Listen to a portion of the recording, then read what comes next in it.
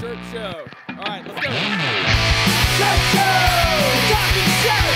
Shirt Show! Talking shirt! Shirt Show! Talking shirt! Shirt Show! Shirt, man! All right, episode 33 of Shirt Show. We're talking with Joe from Gorilla Joe Printing Co. in Ohio. Let's go!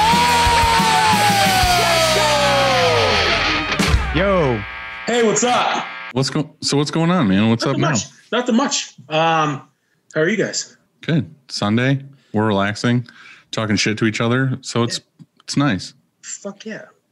Oh, yeah, I love that background. Oh, thanks. Are, Um, are you like in your office? Yeah, this is one wall of my office. Like, so, like, there's this other sector over here that's uh, filled with old uh, uh, Black White Marilyn Manson posters and like old screens for things that meant something to me. And a buddy of mine um, uses animal bones, and he gets these beetles, and they eat the flesh off them, and he they make stuff out of them. So it's just filled with a bunch of weird shit. But I just wanted to kind of be in here because uh, Yeah. over there's more of a clutter fuck. it's Yeah. kind of uh, Incredible Hulk meets. They're not gorillas, which I would expect, you know, because No, they're they're, they're hyenas. hyenas. All I'm glad you I'm glad you could figure out that they weren't gorillas. but I was expecting, you know, like, hey, well, it should, I was thinking, of course, it'd be gorillas, right? But they're not. It's hyenas. well, so that's that's the front end of our office. Um, our building's very long and old, and uh, hey, we both have long old buildings. yeah, yeah, yeah. So when you come into our shop to pick stuff up, that's where all those murals are. But we have murals throughout the whole shop, even in our DTG room, and that's the only place that we go to. So yeah, so auto reclaim, man. yeah. Tell us about that. Well, I don't. I love it. Hmm. Um, there was an issue. Um, Lotus Holland has a new um, type of system instead of the chains that were going on the sides with the bristles. Yeah, they it's like changed it. these, these bars that go like this, Yeah, and they rub they rub the screen. now, the back bar wasn't like it was like it's like a piston, and it's like some guy on a bike upstairs, like just going like this, you know, and like they're going up and down. Um, the back one didn't work, so I'm waiting on the part to come in. Um, When you I'm say bar, to- what do you mean bar? It's uh it touches the screen. like they used to they used to have a chain, yeah, and that I, I don't know they got rid of the chain system, and now it's just two bars that go. up Oh, and I see what you're saying. But it's still on. it's still brushes. It's just Yes, bars instead of chain. exactly, exactly. chain. Yeah. bars Okay, instead of chain. Got you. Got you. Yeah. So, so, and like I said, so the bottom like runs on like a bicycle and it goes like this. Um, but the bottom one, I love this. I one- love the acting out that you're doing. well, I mean, I was sitting back, like this. I'm sitting back there and I'm like, oh fuck, what the fuck am I gonna do? You know, like, so, and Alex from Easiway is like, ah, you know, and he, they're like, are you freaking out? I'm like, no, I know it's gonna get fixed. I was like, we've never had this before, anyways. This is just making things easier. It's not like we have 10,000 shirt run and we have our first auto that we gotta learn Right. real quick. So, anyways, um, the parts are coming in um, that I just need to kind of fix. Something might have been damaged in shipping, um, but we're actually still using it with just one bristle and um, just kind of bumped up the ratio of 701 in the first chamber. And it's, I mean, still getting rid of the ink, you know, and coming out pretty clean. So um, So they Yeah. this is something that arrived and you installed or they installed it. they installed it. Okay. We just we just had to run the electrical, airlines, and plumbing to it. And then you had Easiway come out and set it all up for you. Well, Easiway, um, Alan and Alex came out to make sure that the ratios were correct. They wanted to visit Right. some other shops too, so they were here for a couple days. Um, you know, but then the the Lotus Holland actually installed it. Right. so you had the the legend Alex out there. yeah, My, my hero. Yeah, the mustache. this so yeah yeah last monday i was like do you guys want to come over to my house before we go out to eat like so they came over. It was like having friends over after school. Mm. and like i don't know. It was a lot of fun. But yeah that- so the auto reclaim is is is actually awesome even as is. Um the chemicals work great. Um i'm just waiting on the parts. I think they're going to be here tuesday and they sent me a video how to ins- how to install it, but I was watching um, my tech do it, so it it seems really easy. I just you know I was like, this isn't going to work, void my warranty, is it? You know, and they said no. Right. So I've had things like that happen before. Like I had our second um, sprint came, and when you order it, you order w- which way the belt goes.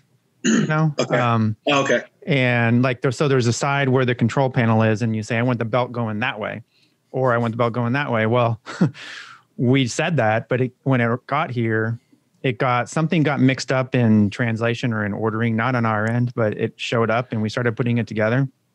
It was going the wrong way. We actually had we had that not that long ago because when we got the split belt, we we had one of the belts for a little while and then all of a sudden it started to rip. So it was like a faulty, shitty belt or whatever. And I called the M and R parts department lady to get a new belt. And she was like, she was like, Yeah, well, what way does it go? Does it go right to left or left to right? And I was like, well, what I was like, what do you mean? Like, and then the funny part is I'm out there in the shop, I'm like, I'm like, well, if you're, I told her, I was like, well, if you're standing at the control panel, the belt is going from right to left. And she's like, all right, well, what if you're like, she couldn't get what I was saying. I literally had to send her pictures with arrows. And I was like, it goes this way. When I ordered mine, I actually took a picture and put arrows on it. Yeah, that's what that's it- what I had to do because I was so him, right. and it was probably something stupid like like there's the obvious way of like it goes this way, but like my mind as soon as she said that, I just had a super dumb moment and I was like, I have no fucking idea what you're saying. Have you ever installed a door in a in a room and it opens in or out or right to left and all that shit? I usually Yeah. get that wrong too. sure. and it's embarrassing because it's like one of those things where it's like, you know, like not that my dad's ever asked me to go grab a wrench that I didn't know, but like it's like one of those moments where you're just like, Yeah.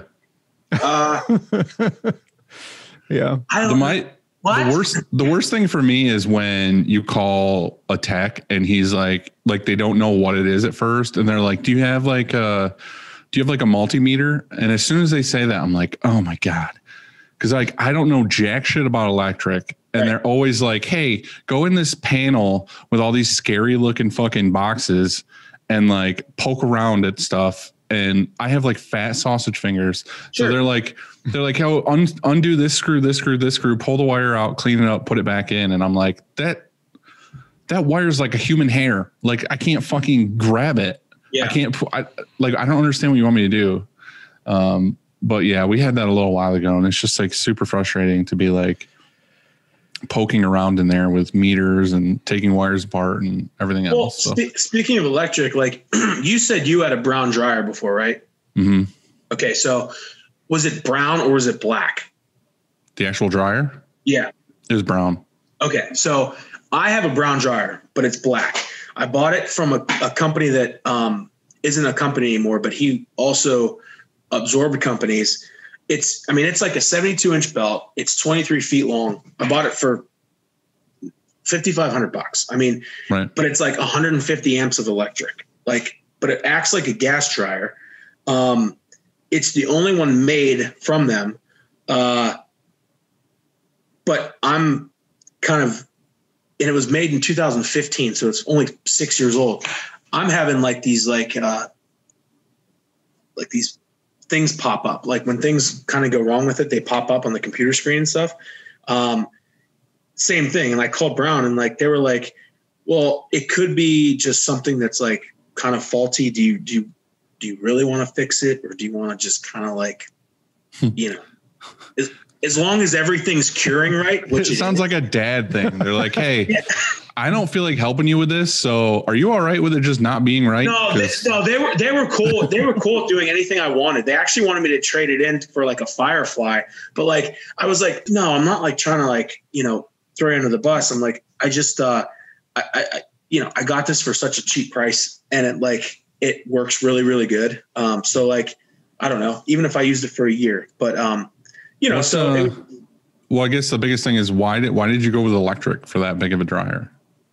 uh, because of the price, Mm. um, because of the price. But is your Um, electric bill insane? Yeah, Yeah, I was going to ask I mean, you. I- 150 amps is that single phase, or No, it's triple phase. and 150 triple? I Wow, used to have It, it's on a 150 breaker, but I, it draws, I think, 100 to 120. when so it like, cycles, like it's Yeah. Yeah. you're saying. yeah, Yeah. But like we we used to have an electric dryer, a big one, not anywhere near as big as like our gas dryers, but we had an electric dryer, and my electric bill was like three grand. And okay, like, mine's never mine's never been that. My biggest one was eighteen hundred bucks, and that was in last December, this past December. right. but um, I'm well, mine I say three grand, but three grand is I do it like every two months. It's not like monthly, so it was probably Oh. more like fifteen hundred bucks a month or whatever. That's yeah. But I still I went from when I got rid of the electric dryer and I went to gas, my electric bill was six hundred bucks. holy shit. Yeah, I mean, so there's there's a company in Pittsburgh, which is only an hour away, that, that has a Sprint, I believe, and I think it's a pretty new one too. I think I might, you know, see Do if you- it's. Do you guys have natural gas or can you just Yeah. do propane? Okay, see, I don't have natural gas in my town, so I have to do propane. But even that, my propane bill is like a hundred bucks a week. So Yeah, for it's sure. still, but the thing is, is a it's better to use gas anyway, if possible, just because like forced air and the way it works and everything else. Um, but it ended up being cheaper for me anyway to use gas versus electric. So My only thing with buying this dryer was the fact that it was convenience made and price. Well, yeah, but like it was like made for a DTG shop, so it has the convection, like forced air in it. Like it, it's not. I'm not talking like a, um, you know, some of the other dryers out there that have like a little fan. I mean, it it really acts like a like a gas dryer, but you know, it was just kind of like one of those things where I was just like, ah, I mean, I you know, for I mean, the price, Yeah, like at 5500, it's almost it's a no brainer. You know, you got 72 inch belt. It's 20 whatever feet. I don't know what the heat chamber is, but it sounds like it's if it's a 20 it's- something it- foot you know, Yeah, dryer, it sounds good. yeah, And I don't know. It's I mean that's a crazy crazy cheap price. You know, It is. No. I mean, Yeah, and the only thing that sucks. Well, thanks, but like you know, I mean, I'll, I'll use it for as long as I can. But uh, um, the the the heating element clearance from the belt is super small, so you know I got to factor in the time it takes to actually put you know push that down, um, as opposed to just maybe throwing a hoodie on and just kind of going like this. very first dryer I bought was a 24 belt, 24 wide, 11 foot long, and it was more money than that. Was it workhorse? It was uh it was a national. Have you ever heard of them? They Yeah, they're, oh, yeah, they're yeah. not in business anymore. I think they're uh I have a hat 10 press I sold my old employee. Yep. National Yep. I think they they were built and manufactured in Kansas. Okay. But um it's called National and it was basically just three flashes in a row. Like three pretty big, you know, IR panels. Um, and then a conveyor belt that had a temp control on it. I loved it. I bought it brand new, but it was more than 5,500. It was like 7,000 bucks or something, yeah. you know? So, I mean, 5,500, it's crazy great. So It, it is. I mean, like, I think the electrical cost, I don't know, almost as much as it. And now, like, you know, thinking back, it's like, I'm never going to put anything that's that big of an electrical, you know, what I need there ever again. So it's like, Right. You know what our biggest draw power wise is? what? The Ecotex. AC. Oh man, Oh. you have a, you're fancy fans, fancy 12,000 pants. I, I only have AC in our uh, uh, offices, the front Mm-hmm. office and the back office.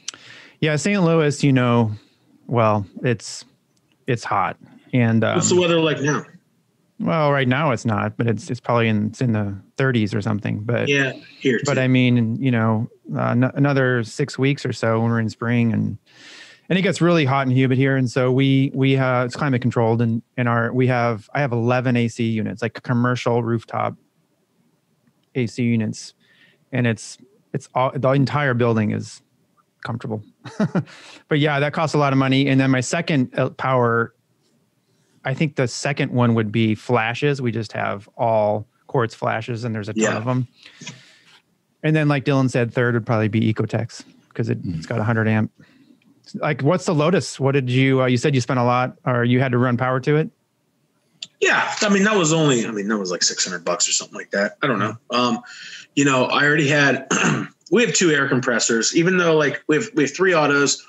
Well, three, I call I say it three and a half autos um because we have a um uh ASPE tag press, but um two of the autos run on air and electric, but um the one is just is all electric. But you know, Is that the is that the Volt? yeah, yeah, yeah, yeah. Um, Do you, do you like that press? you know what? Yeah, I mean, I had someone approach me with a good good opportunity that for a shop that went out of business in Columbus. Um, got a really crazy deal on a uh, the, that press, uh, a Don't dryer. even tell me it was 5,500. No, it was it was a little bit fifty more than five that. hundred dollars for everything I have. So like, you know what? I don't know. Like some things that, anyways. So like, so that I bought this shop out. I got anything that I wanted. I basically cherry picked through everything. Got about 400 screens. Um, most of them, I mean, you know, when we tested them out after we reclaimed them, they were over our threshold of newtons, which is 17. Um, you know, we got a bunch of other stuff. Um, and so when we, you know, installed it, everything was cool. And the dude agreed to give me a year's worth of work, and which he did. And it was over that. So it was like, I bought this, you know, shop, let's just say $30,000. He gave me way over that within a year, not saying that all that money was going towards paying that off. Cause I mean, I, I just paid for it, but I got work with it too. So it kind of Right. made sense. So it was like, do I need three presses all the time? Absolutely not. We don't have, you know, a whole shift doing three presses all the time. Uh, it was just kind of like a, it was almost kind of like, Right, hey, it was an opportunity. yeah, you want to buy this lawnmower? Um, just cut my yard for like I don't know half what you would normally charge, and you can have this really sick lawnmower. and like Yeah. you know, so I don't know. That's kind of how. So so anyway, that that shop that you got the stuff from, they they were all Anatol. yeah, I mean, it was it was. Uh, except for actually our live press um, thing, because we used to have a really shitty live press um, that I bought from like eBay, um, like the real shitty one. Um, so he had a Riley Hopkins, which is basically like better than the first press I ever got. So Yeah. we got that, and um, you know a bunch of other stuff, but that was like the only other thing that wasn't Anatol. Yeah. Do you do you like the Anatols? They work pretty good for you. Yeah, you know what, man? Like when I first started searching autos and stuff, like I didn't really know about much. Um, just kind of looked into everything, and uh, what my needs were at the time were kind of fulfilled by who I talked to about Anatol, hmm and I'm still kind of like, yeah, I mean, like, you know, I, I ran other presses, and like some of the other presses were, I don't know, not as I guess I, I I've done toggle switches and stuff, Mm-hmm. um, and I, I just wasn't, you know, I don't know. I have I have nothing bad to say about Anatol at all. I just like my my local rep in uh, Rochester, uh, Davis International. That's what they they sell is Anatol. Uh, And AJ AJ's always trying to get me to buy an Anatol. Anytime I got anything, he was like, "Oh, you should check out the Anatol. You should check out the Anatol." And I ended up telling him because I got in between M and R and Anatol. Like I, I wasn't gonna. I don't think I was anywhere near as close with buying an Anatol as I was with getting an M and R. But I told him straight up, I was like. I don't have anything bad to say about Anatol. I just don't have anything good to say. Like I don't hear people be like ranting and raving about their Anatol. Like yeah, probably prints shirts and it's great, but that was the, the main reason why I just didn't like go any further with it. But I do like follow them on social media eh, or just like I've seen them at shops I really respect and people are like, yeah, we like it. It works. It does. It's great. And then I see some of this cool new stuff they're making and I'm like, oh man, that's a pretty cool feature that like nobody else has. Like, but you can, I think they have a new one where you can like pick the whole arm up. So you Yeah. can like do other things Yeah. with it. I was like, I oh, don't that's have pretty talking about the like the seventh head. Like if you have a Yeah. six, if like have if you're running one six-color- operator, Mhm. you can put a head right before you or whatever. So you're Right. using one pallet. And I was like, oh, it's pretty cool. So that if would you have been wanted somebody, perfect.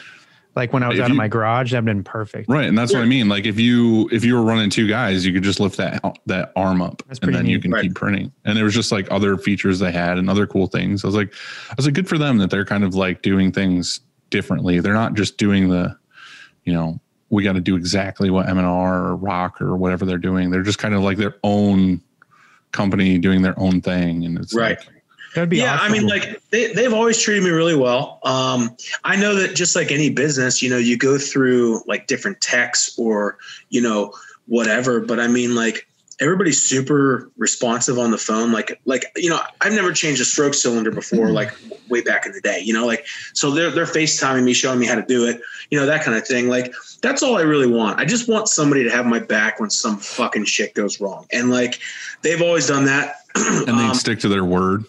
and, and yeah, and they do. And like just recently, I got approached by um the the sales rep in our area, and like uh because I've ever since you guys started talking about the M and R hothead, you know, I looked on Anatol's site to see if there's anything like that. They didn't have anything like that, so I actually got a hold of M and R because I have an i-Image. So like, I mean, I have you know. You know, I mean, some M and R stuff, um, and I was like, "Hey, will this hothead work for my Anatol?" Um, you know, but Anatol just came out with something, and it's it's like pretty much the same thing. Um, and they're actually going to give me one to try out and test, and I'm just gonna, I don't know, make some videos of like trying it out, and Right. you know that So kind you're thing. you're beta testing. Yeah, for sure. Yeah. Like I think it's available. I'm pretty sure the I'm pretty sure the Stampinator works on an Anatol, Okay. but I mean that's different. It's basically a heat press versus Yeah. something running back and forth. See, Uh-huh. I think what I'm getting um, is uh, it might be something similar to the hothead where it just it moves. Right. It goes in like a you put it in like a squeegee position. Yeah. Yeah. Yeah. Yeah. Right. Yeah. No, that's cool. I had Yeah. somebody reach out to me about that because they didn't have an M&R and they asked if the hothead would work on their press and I and I um I found out that it it probably will. But I don't think they guarantee it, you know. So Right. I think the biggest thing with the hothead is just like you need it to be able to clamp in like an M&R Yep. style squeegee, but Yeah. also you need to have some kind of holder to hold the actual uh like brain of it. Mhm. You know what I mean? Like which is different on M&R every one, press. right? And the M&R one is made to like fit right on the head. It like has a little Mm-hmm. bracket. But like if you didn't have that, it's just a matter of making a bracket, like something to Yeah. hold it there. So Right. it's like the same thing. With they didn't have a bracket made yet for the Cobra. Right. Because I, have remember. Ron bought one. Ron bought one, and he was like, "Yeah, I can't use this yet because I don't have the bracket." And then they ended up just like fabricating a bracket to make it work. But, Hmm. um, yeah. But you also have the Anatol, uh, like the turnabout, like the M&R turnabout. Yeah. right? Yeah. Yeah, I think that one looks. I think that one looks cooler. Like if I was to buy one, because that one has like a Yeah, whole touch L- LCD touchscreen and everything. I was like, "Fuck, that one's cooler." I Plus, mean, with that one, you can do gallons too, right? oh, you, you can do quarts. Yeah. Mm-hmm. See, that's I don't know fucking why the fuck you do that. Like, like by the time you, you set all the shit up and like clean the blade off, like why? The, get the fuck. You know what? Unless you're doing a bunch of quarts or something. I was honestly, I honestly was going to ask my dad to see if he could make me one. I kind of want to just get like a, a motor that'll run slow that I can put on my ink mixing table and run uh, like like you were saying quarts. But I don't Yeah. want to have like an arm that goes up and in and all that shit. I just literally want it to hold the quart and spin, and I could just take my spatula Yes. and stick it in and hold it while it spins. So I don't have to Right. sit there and go like Don't you this. feel like such a pussy when that part of your hand hurts so bad? you're just like, I'm just saying, like, like if I'm sitting there and I'm whipping, I'm whipping, I'm whipping, Yeah. I'm whipping. Like if I could just put it on a thing and hit go, and then just hold a spatula in Yeah. it. I mean, it makes you. It's like it's it's totally lazy, but it's like it'd be awesome. Like if it was just right there next to the scale.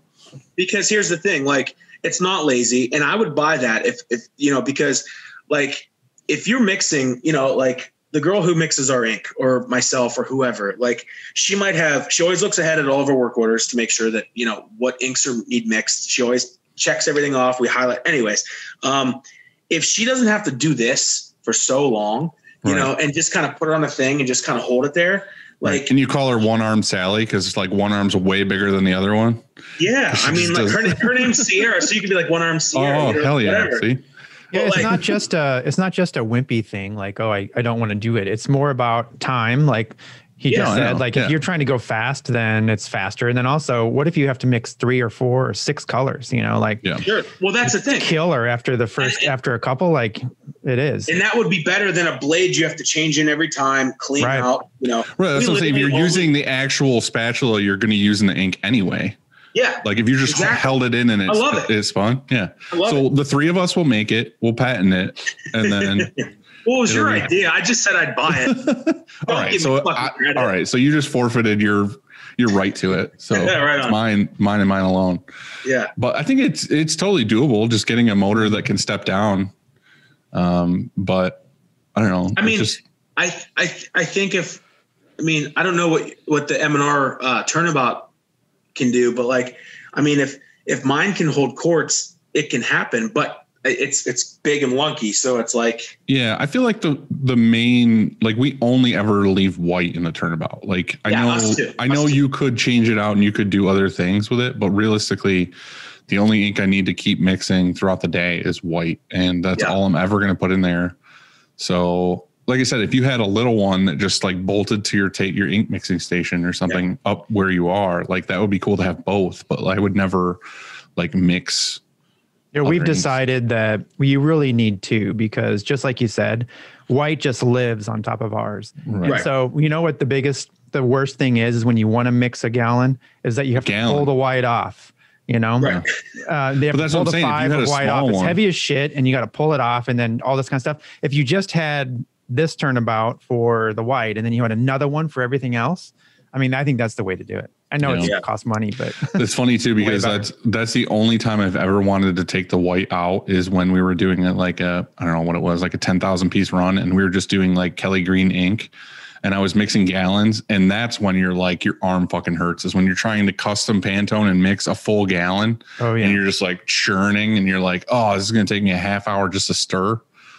That's when and like I said it would be awesome to have something you could just sit there and and do but I don't know there probably is something out there but not that I know of anyway.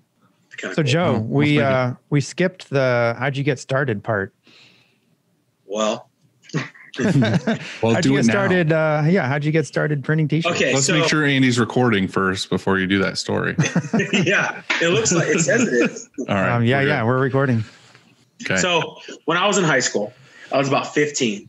Um, there was this really hot fucking teacher. She had like like cat glasses. She was walking around. You know, I was like, holy living fuck. Um, what does she teach? Because I want to take the class.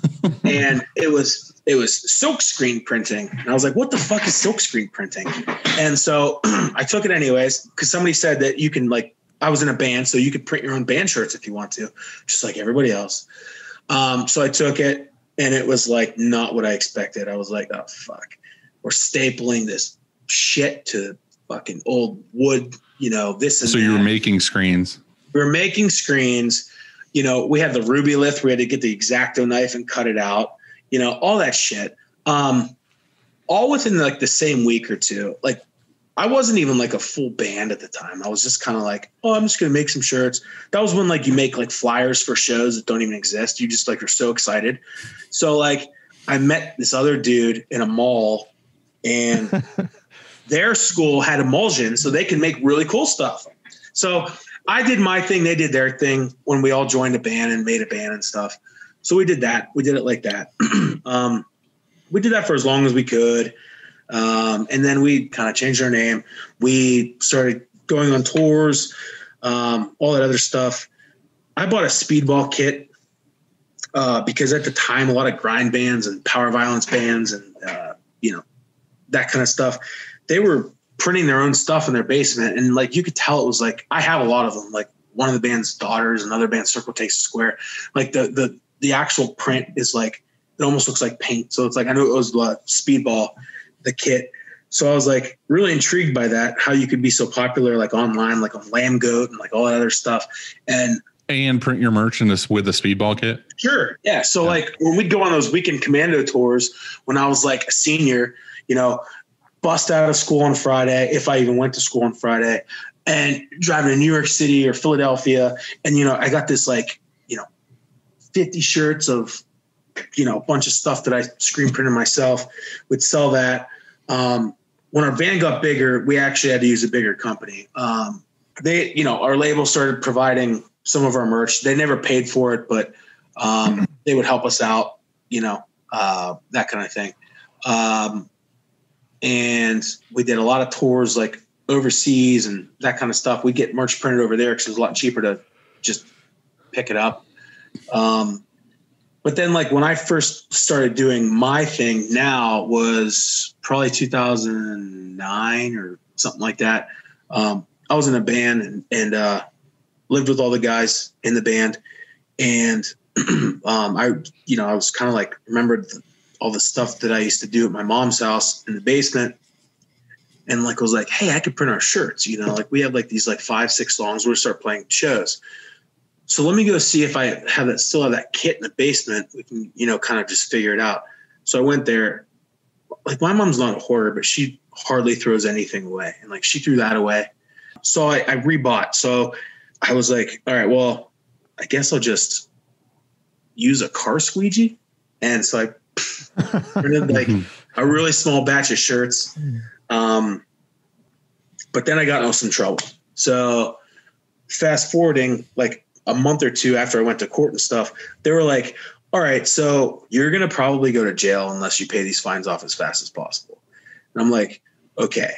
Um, I had one job at the time where I was doing inventory control at like the worst place I've ever been to in my entire life. Hated my life. I actually got a job delivering Chinese. I went back to my pizza shop job delivering pizza, but then it still wasn't enough because nobody was like, okay, I'm going to give you all the hours because you need them. Like they were just like, all right, dude, you're like a, you know. So I started screen printing. So like I I found a guy on uh, Craigslist and I don't know why I was just like, uh, I guess I'll just spend all my savings on screen printing equipment. But a guy was selling some pretty decent stuff. Though, so I thought for like 600 bucks. So I spent the 600 bucks in my savings account. Um, and it was one of those like blue magnet ones. Mm-hmm. You know what I'm talking Where about? the mag, yeah, the magnets hold it up. yeah, it, w- it was actually not terrible for one color stuff. So, you know, bought some screens, some squeegees, didn't know shit. He gave me pirated versions of Photoshop and Illustrator. So I was just like, cool, I'm set. And uh, I was like, okay, now what the fuck do I do? So I bought some screens. I bought some used screens on eBay, cleaned them in, a, in the car wash, just like Andy used to do. Like I, you know, Where was your shop right now? Oh, oh. this shop you're talking about? Are you? Okay, I'm so sorry. Like I, you know, this was in basically a frat house. It wasn't like I wasn't in I wasn't in uh, college. Hmm. I wasn't anything, but it was I was like 20 something years old. Um, in a garage of the frat house. no, no, no, it was in the the basement. Okay. Yeah. All right, hold on before you go any further. you guys, you guys always talk about cleaning screens at a car wash. Hmm.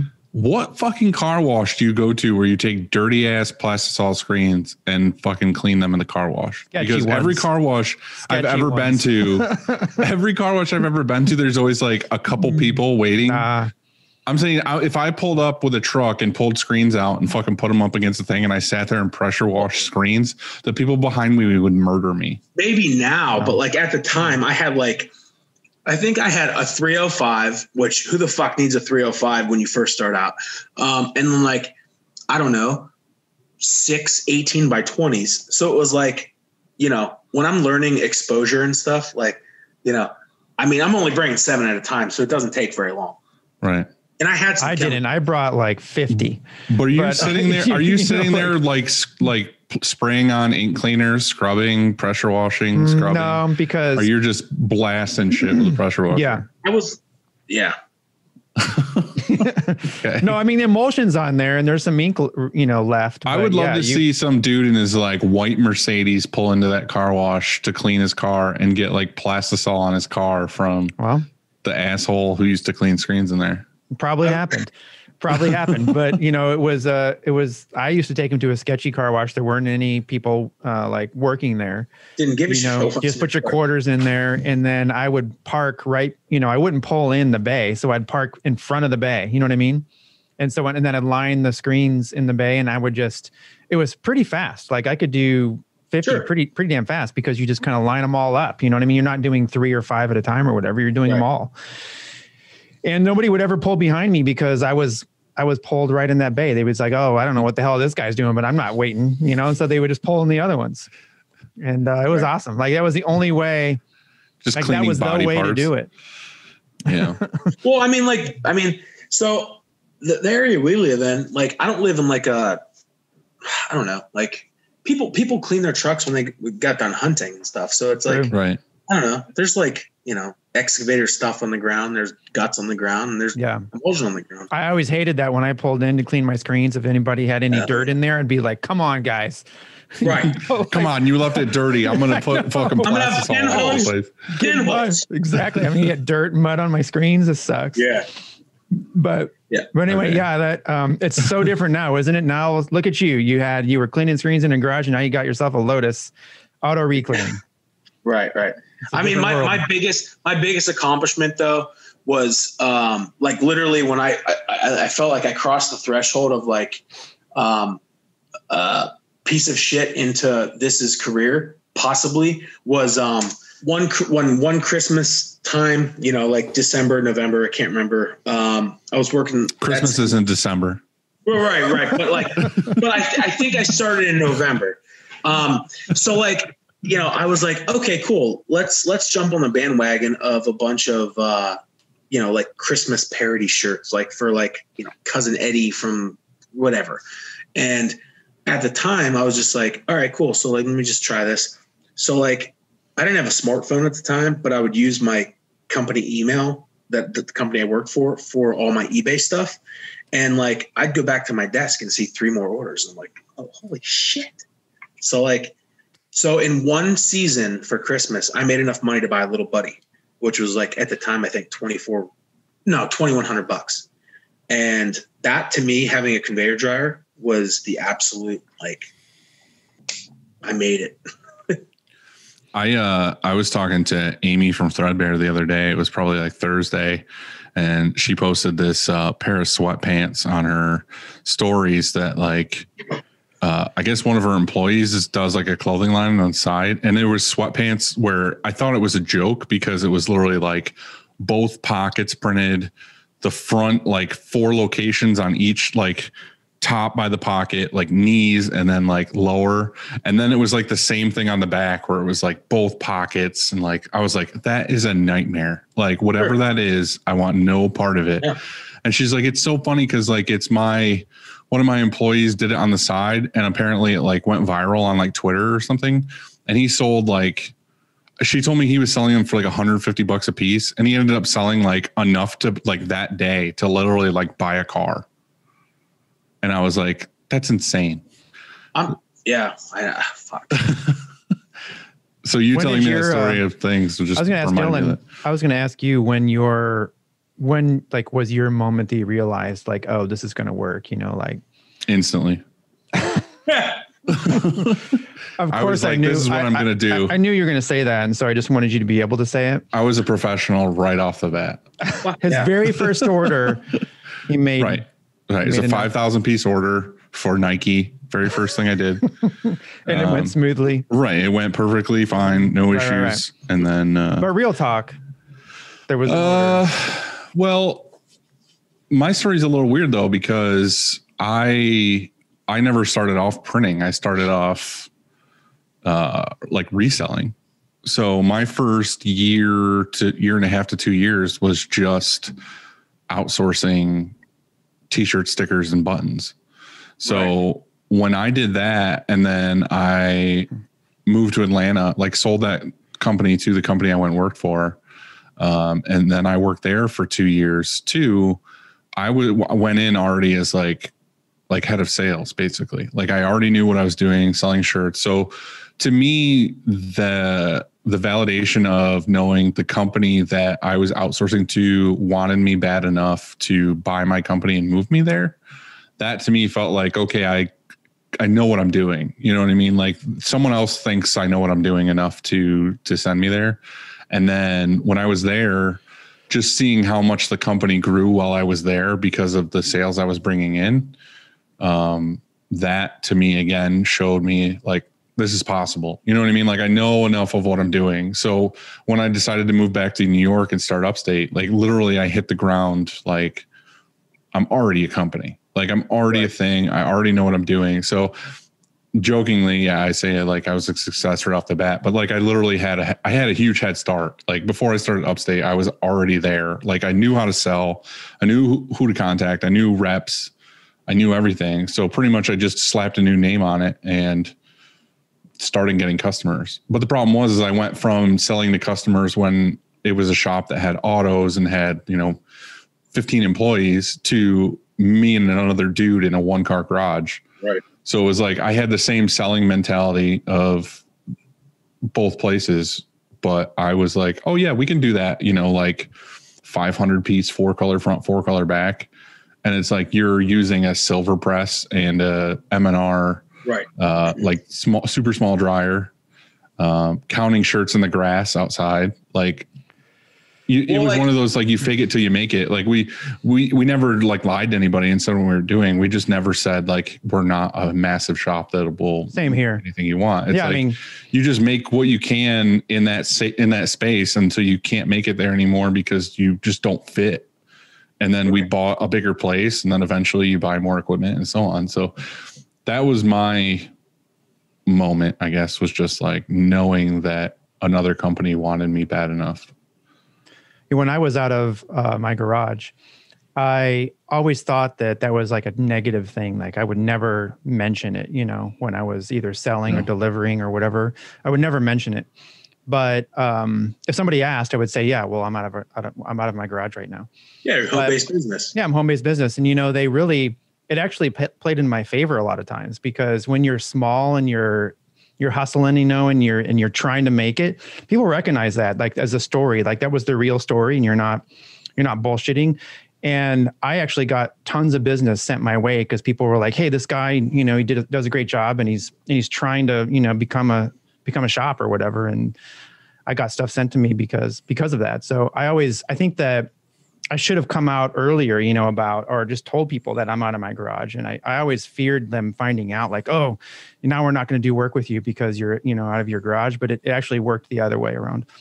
Um, I mean, I a lot of people mar- a lot of people market it that way though, like not necessarily the garage thing, but they market the like artisanal, like you know, it's it's hand pulled, and they they try to make it as like crafty as possible to make it sound like you're like, you know, you got like fucking the lights dimmed and candles lit, and you're like Yeah. passionately printing their shirts. I mean, nothing against that. Like, dude, do, No, no, no. do whatever you got to do. But the thing is, is a lot of people are like, oh, it's. I feel like some places get that in their head that it's like so hands on when you're manually printing, and then as soon as you get an auto, you're like, oh, you're a fucking big company. You barely have to touch them anymore. It's like, dude, there's so much you still have to manually do on an auto. Like, Yeah. Tweaking everything. Like literally the only thing you're not doing is spinning the machine and pulling the squeegee. Like you're doing Yeah. everything else. And and hands are so inconsistent. I mean, like, Right. you know, my wife owns a salon and like, I mean, like she, she was having problems for a month where like she was like, I'm gonna have to have carpal tunnel surgery. And like, you know, uh, her back always hurts because she has to lean over people and all that other shit. So it's like, Right. I mean, uh, you know, machines aren't bad. Yeah. Yeah. No. It's just consistency. Like you with the auto, it's just kind of like, okay, I can consistently make 500 shirts the exact same way. Right. Like the machine doesn't get tired. Um, and I can do your order a lot faster and everything else. So it's just eventually when you can, I feel like everybody should, when it's right, automate if you if you can. So Yeah. I So, have yeah. um, on your Instagram, you have these um, really rad, uh, looks like they're just cardboard cards that you um, spread adhesive on when after you've exactly what I was going to ask about. And then they have these So- faces drawn on them. I well, So- so, okay. So you you I was trying to rack my brain about hacks and stuff like that. Mhm.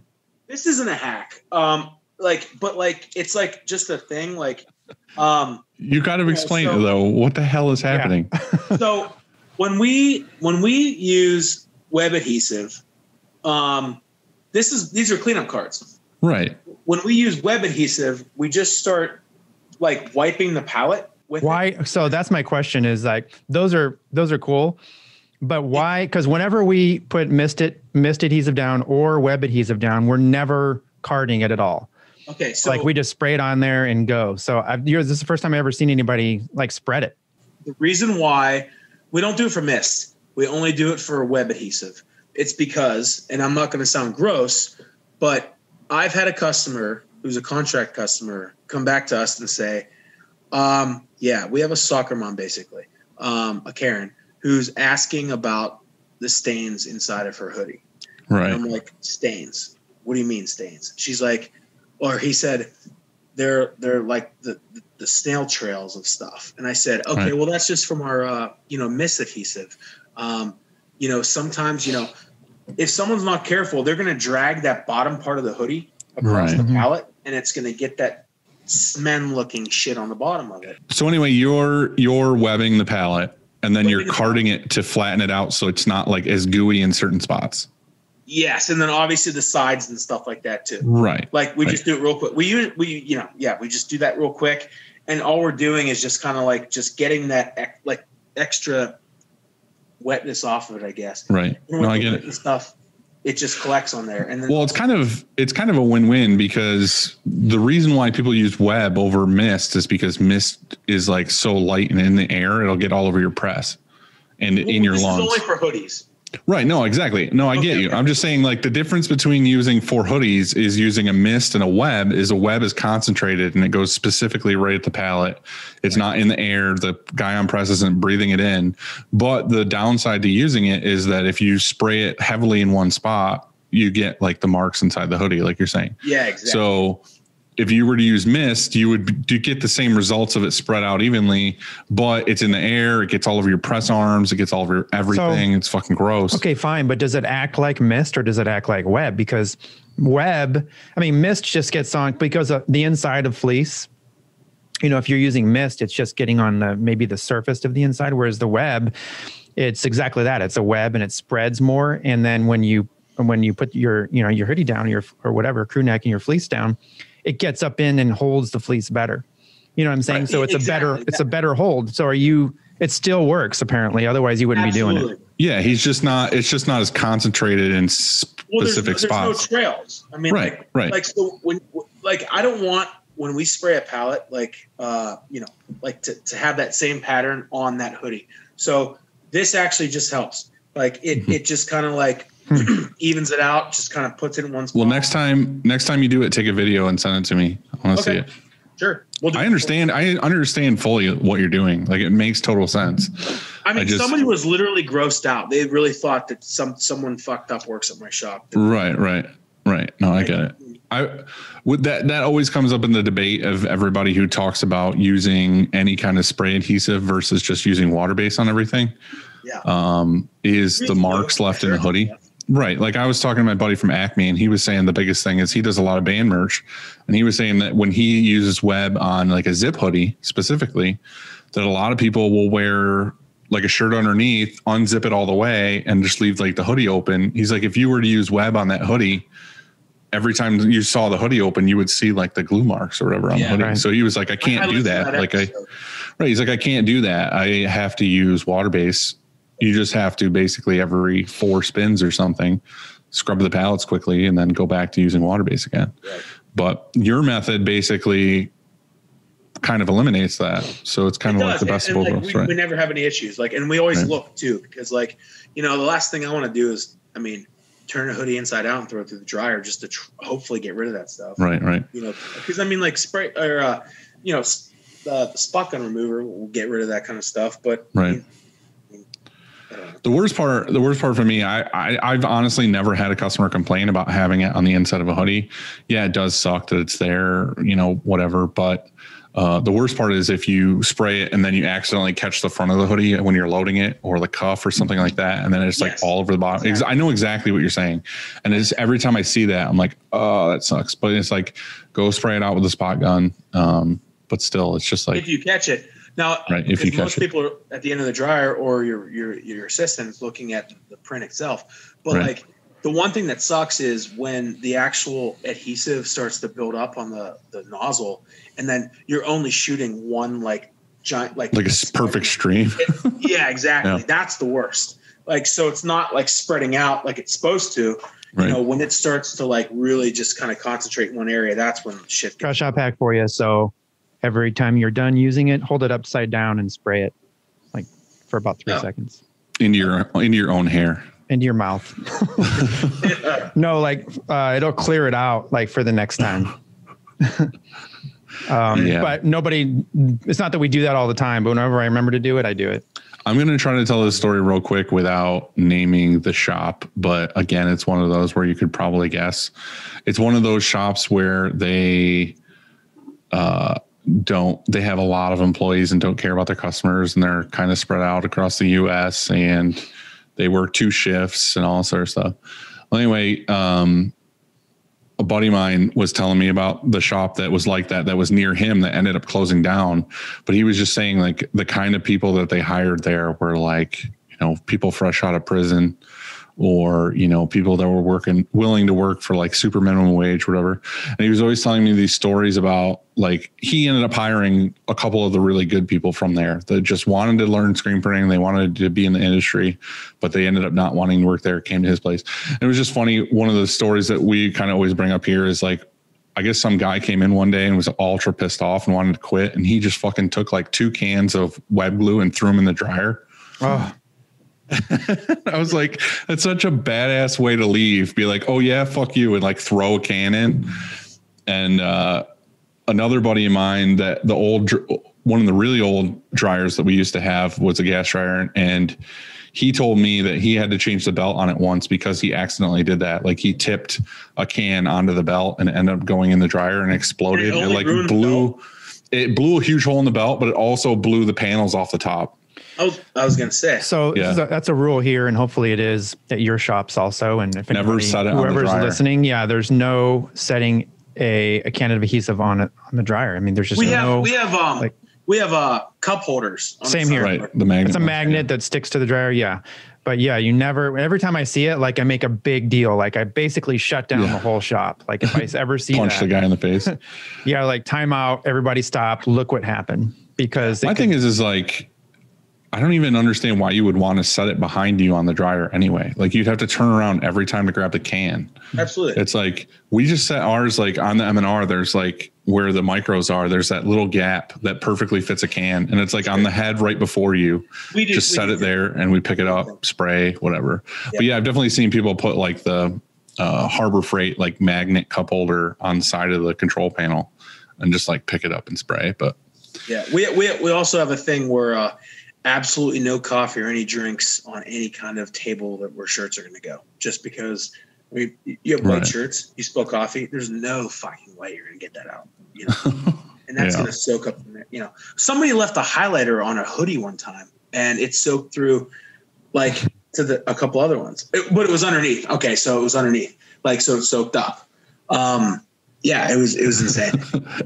we had we had a girl who used to work here that worked in the office that went out in the shop one day and was like we asked her to like help at the end of the dryer and this is back before we had like the the rolly fabric carts that we have Yeah. now we had like a big wooden box that was like under the dryer and everything the main thing was that that box should be the cleanest fucking surface in the whole shop because that's what all the shirts fall into. One day she was out there and she's like real short and she like stepped in the box to like get the shirts out. I remember it was one of those things like everybody in the shop was like, "Whoa, whoa!" Like, like what are you doing? Like, don't step your dirty ass foot in the box because then all the shirts that fall in are gonna fall like on your shit footprint. right. Um, so yeah, it was just there was a that- printer here once that um, came in the office and was talking to me and Joanne, and I think somebody else was in here, and he was telling a story. It was in the morning. It was before we started, and he set his coffee down on Joanne's desk, and it was like the worst coffee. That was it was like hazelnut, mint, cinnamon, something or other, yes. and it was massive too. It was it was huge, and he, of course he starts talking, and next thing you know, it spills. Our office smelled like hazelnut, mint, cinnamon for like a month. It was awful. And this same guy, also the same printer, actually partied at our house one time and threw up in our kitchen sink. so, so yeah. I Nice. like. yeah. Oh God. Uh, no, I got one more one more dryer story. Uh, I had an employee for a while. It was actually the one that we had to fire that we were talking about. It was just kind of like the sour apple in the shop. But he he bent down to get something out of the box at one point, and it was perfect timing where the belt zipper landed perfectly when he bent down and he accidentally touched his forehead to it. And he had like a perfect zipper scar on his forehead. Like and it i don't know if it's still there to this day but it was there for a really long time. It literally just like burned Dude. like branded a zipper in his forehead. Because it was one of those he just perfectly timed bent down and fucking burnt his forehead. Not, and secondly not what are you drinking? Is that like Um, well, so I don't have any preference. I, I do I do like pure pure leaf unsweetened. Um, but this was at my house. This is probably from Aldi. Um, it's uh tea company Benner. I don't know, but it's spiked. Like I, I had like Oh. my my weekend was just. I mean, you know, I was kind of nervous. I was It's kind of okay. Is. Alex It's still all right. there? Is Alex still in town? Is that the problem? No, Yeah, Al- okay, first of all, Pure Leaf. I tried so hard. I Did. I love this drink. I still have it, and they fucking broke They my fucking heart listen. this weekend. Yeah, this in Dude, fact they you, broke my heart. in fact you went they like broke my heart. triple hard this past week and contacted them. Like I was I- finally like, like, okay, I'm gonna actually contact them. You know what I mean? Like, I'm gonna not send an through just email to their Instagram, like actual Right. to the company. all we were doing before was mainly a joke on the show. Like I do love Pure Leaf. I do like it. It's my drink of choice if I have the option. But like it turned into a thing where everybody was tagging them and whatever. And uh, I was finally like, all right, I'm gonna like actually send them an email to their like marketing team or something and see if we can make something of this because it'd be hilarious. So anyway, even before that happened, we were talking about the other day something, and like they they said, "Hey there" on Instagram They acknowledged us for the first they time. for the first time Yeah. like said something back and we were like holy shit like i sent it to andy and chad and we were like oh shit's happening We were super stoked. We were like, And yeah, they get, get said- ready. I posted that picture of me that like chad made where it said like hey pure leaf and i was like drinking and they said hey there and then i wrote like this quick paragraph or whatever about like how much we appreciate them and we love the drink and all this other stuff nothing no response i was like this is so fucking dumb so I was like, you know what? Screw Instagram. It's probably just some hired gun there that's just responding to people uh, or not responding at all. So I sent this like long email to them and they emailed me back and we were basically just like, we don't have time for your small potatoes bullshit. Rejection. Right. That was like, that was my version. Obviously, they didn't say. goddamn tea. Right. Like I just wanted a six No. pack to say, hey, they responded. They sent me this free six pack, uh, whatever. I- but they were just was- like, hey, fuck you guys. Yeah. when I was like 16, like uh, you know what, I've I've always like just tried to communicate with people. Like so, like I love Murray's beeswax. Like I've always used it. Like you can find it in the you know the hair aisle of Walmart or you know Dollar General wherever. It's like dollar eighty nine a can. Um, I sent them a letter saying how much I love their stuff. Like when I was like probably 19 or 20. Um, because like I, I it wasn't an email, it was like a fucking letter. They sent me a case of fucking Dude, beeswax. yeah. And like I literally just so the had this little amount that I use it, I, I I- used it for like five years. So they Yeah. lost me for five years. Dude, I was I just had this conversation with somebody the other day that was a friend of mine who was at the shop, and I was telling them at the time because I just got that email from Pure Leaf that fucking broke my heart. Um, that when I was in like middle school, one of the assignments was to like write a formal letter to a company. Like you weren't supposed to submit it. You were just supposed to like as a test, like write a formal letter, like you were you were addressing, a you know, a large company or whatever. Sure. Well, the thing was, is we had to pick something to do, and I was like in charge of. At the time, it was like higher honor roll, study hall, or whatever. And they they asked you if you want to do certain things. And one of the things I did was I was the guy who like went around with a snack cart and like sold to other other study halls. Right. And like my favorite snack on the cart was Famous Amos, like those cookies, like Yeah. the little cookies. And I, I saw one of those bags and I was like, all right, I'm going to write Famous Amos. So I came up with a fake name and it was Johnny McCormick. and I wrote them a letter saying that I felt that they're they were doing false advertising because the amount of chocolate chips on the cookies on the package didn't match anywhere near the actual cookies in the bag, like the amount of chocolate chips. Because on the bag, there's a fucking chocolate chips everywhere. I mean, So anyway, I, I ended up mailing that letter. Like you weren't supposed to mail a letter. I ended up mailing the letter to Famous Amos, and they sent me like 30 bags of cookies. and I, was just like, I wrote one fucking letter as like a 12 year old to Famous Amos, and they sent me cookies. We probably sold f- for fucking screen printers like nine million bottles of fucking Pure Leaf, and the all I get is a hey there on Instagram. And then when I send them a heartfelt letter, they're like, hey, buzz off.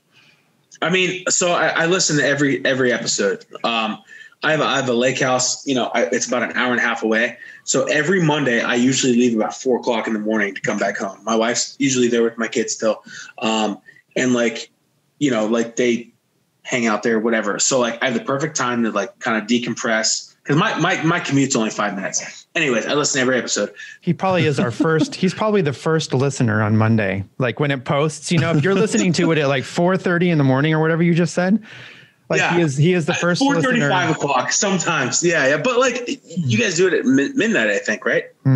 Yeah, it posts Oh. at, at midnight, but still, I don't All right. know who's up who's up listening. So I don't know. That's that's cool. So you're the Well, first. some, somebody in a different country. There, there you go. Yeah, I mean, like you know, Europe's five hours ahead, um, six hours ahead, something like that.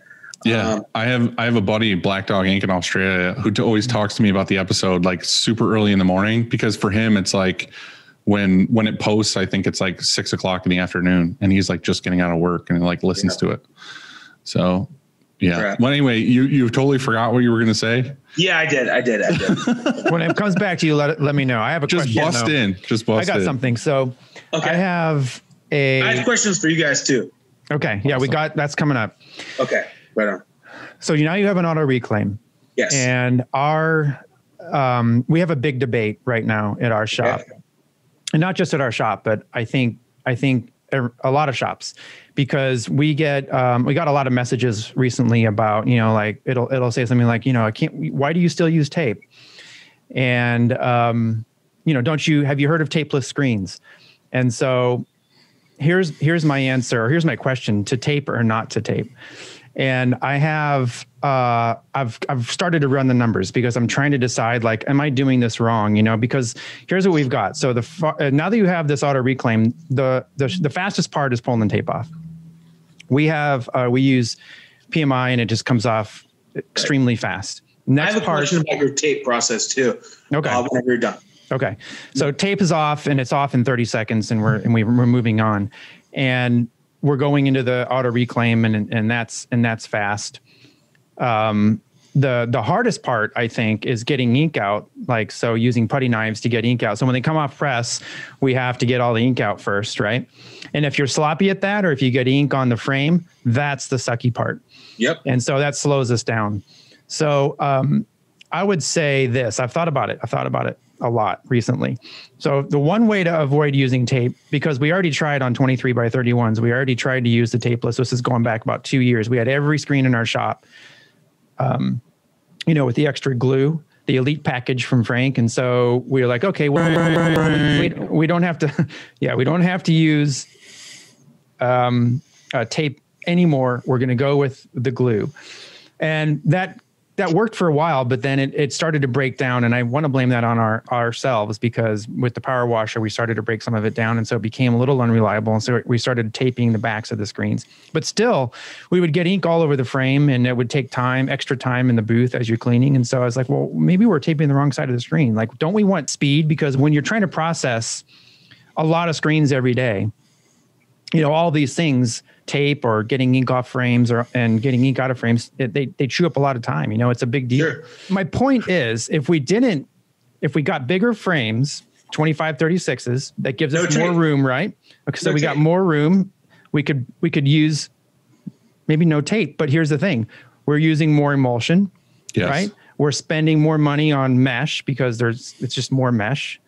And, they're more uh, expensive screens. more, more uh, the frames are more expensive Yeah. and so is it really a savings uh, Well- because and where's and where's your cost because is your cost pulling tape or is your cost the tape i guess it's Maybe your question. which is Maybe your question should be what kind of tape because you're buying the fancy PMI tape. well i want the tape to come off fast because i don't want to be Yeah, fucking you around can with have it. tape that comes off fast. It doesn't have to be the fucking like super expensive PMI tape. I'm Um, buying yeah, I'm buying natural gum rubber tape, the clear tape that doesn't leave any goo on the screens or anything. It peels right off super nice, Is it, super is it from a fast. company like named BMG or something like that? I get mine from Uline. I buy it by the case. I just buy a couple cases at a time. I have it. Like I said, we used to use back in the day. We used to use, just use fucking packing tape or masking tape, and masking tape sucks. I wouldn't use masking Yeah. tape. And then we I started wouldn't use using packing tape either it's too thin Right. unless you get Well- Absolutely. Well, the thing even with packing tape is that we were having issues, yeah, where you would pull it and it would tear and then you That's would the have to fucking pick at it. Right, But the biggest problem with the packing tape was that it would leave the glue residue on the screen. So when you dipped it or whatever, it wouldn't, you know, go to the the it wouldn't degrade that part of the emulsion because there was goo on the screen. So anyway, we ended up finding out from somebody. I don't remember who. I wish I could tell them, but that we would do this natural gum rubber tape. It's like a brown.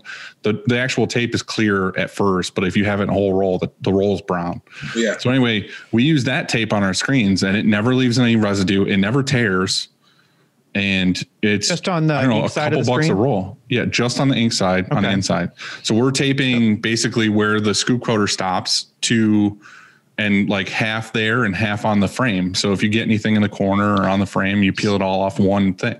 So wait, and also so too, when you tape your screens, obviously, I mean, you guys both know this, but you start one side, put like a little fold edge on, and then go all the way around clockwise or it. whatever. Right. So that way, when you pull, you pull one piece of tape and not four separate sure, pieces. But tape. how much? So you're buying three inch, right? Yeah, I think it might be two and a half. I can check. Mm, It's probably three. So if you're buying three inch, how you still have some frame that's exposed. Yeah. Okay, and so what happens when ink gets on that frame? Really, really rare that that would happen. I'm going to look at this while you guys are talking. Go But ahead. um, I'm listening. You have a giant Uh, beam of light lighting up your face. It's because I just turned my Like on- monitor on. Pulp Fiction, like you just opened a suitcase. I opened the oh gold my suitcase. God, it's like, so so I think that I came up with an idea okay. that as a workaround that I can. You talk about coming up with ideas. You know, I, I, we, I do this all the time, but unless I execute and idea shit, like I got to do something about it. So I was going to call PMI and I was going to, say, hey guys, build me this. You know, make manufacture this for for me because I I don't want it to. I want. I don't want to have to. We tried this. We tried using four inch tape. It's no good. It's too, well, for one, it's more money, more waste because I want to cover more of the frame because I never want to mess. I never want to have to clean anything off the frame. I want to go like this. Step one, putty knife out ink. Step two, pull tape off. Step three, auto reclaim. And then that's it. Right. And so I don't want to ever have to worry about getting ink off the frame. The auto, the our our auto reclaim will get ink off the frame to an extent, but if it's bad, you know, if it's like everywhere, you're gonna have to send it through a few like more than one time, and I don't want to avoid that. And so I came up with this idea because I want I want the tape to extend past the frame, like you know, I want it, and I don't I don't want it to just cover to the edge or something. I want it to come past. So whenever you're carding or whatever, whoever's being sloppy or whatever you're doing because you're moving fast or if you or you're loading ink or whatever and you get ink on the frame, just to avoid that, I came up with the idea of cardboard. Like Why- thin. I I'm not trying to rag on you in any way. This is a serious question, but why are you getting so much ink on this on the frame? I was going to ask the same question. Because I almost never get ink on the frame. Like And, and like rare every that we get every ink on the screen frame. that comes off press goes right to reclaim. How You many? never How, save what size frames do you have?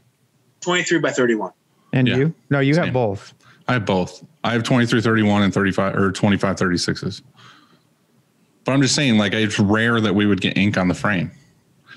Like, we're putting in enough ink to run the job. And then when it's done, they're pulling the screen out and then using a spatula or whatever to scoop all the ink out. What size it- squeegees Even do you then, have? They go they go right 16s? into like you know Or the 16s? feature Are you- racks, yeah.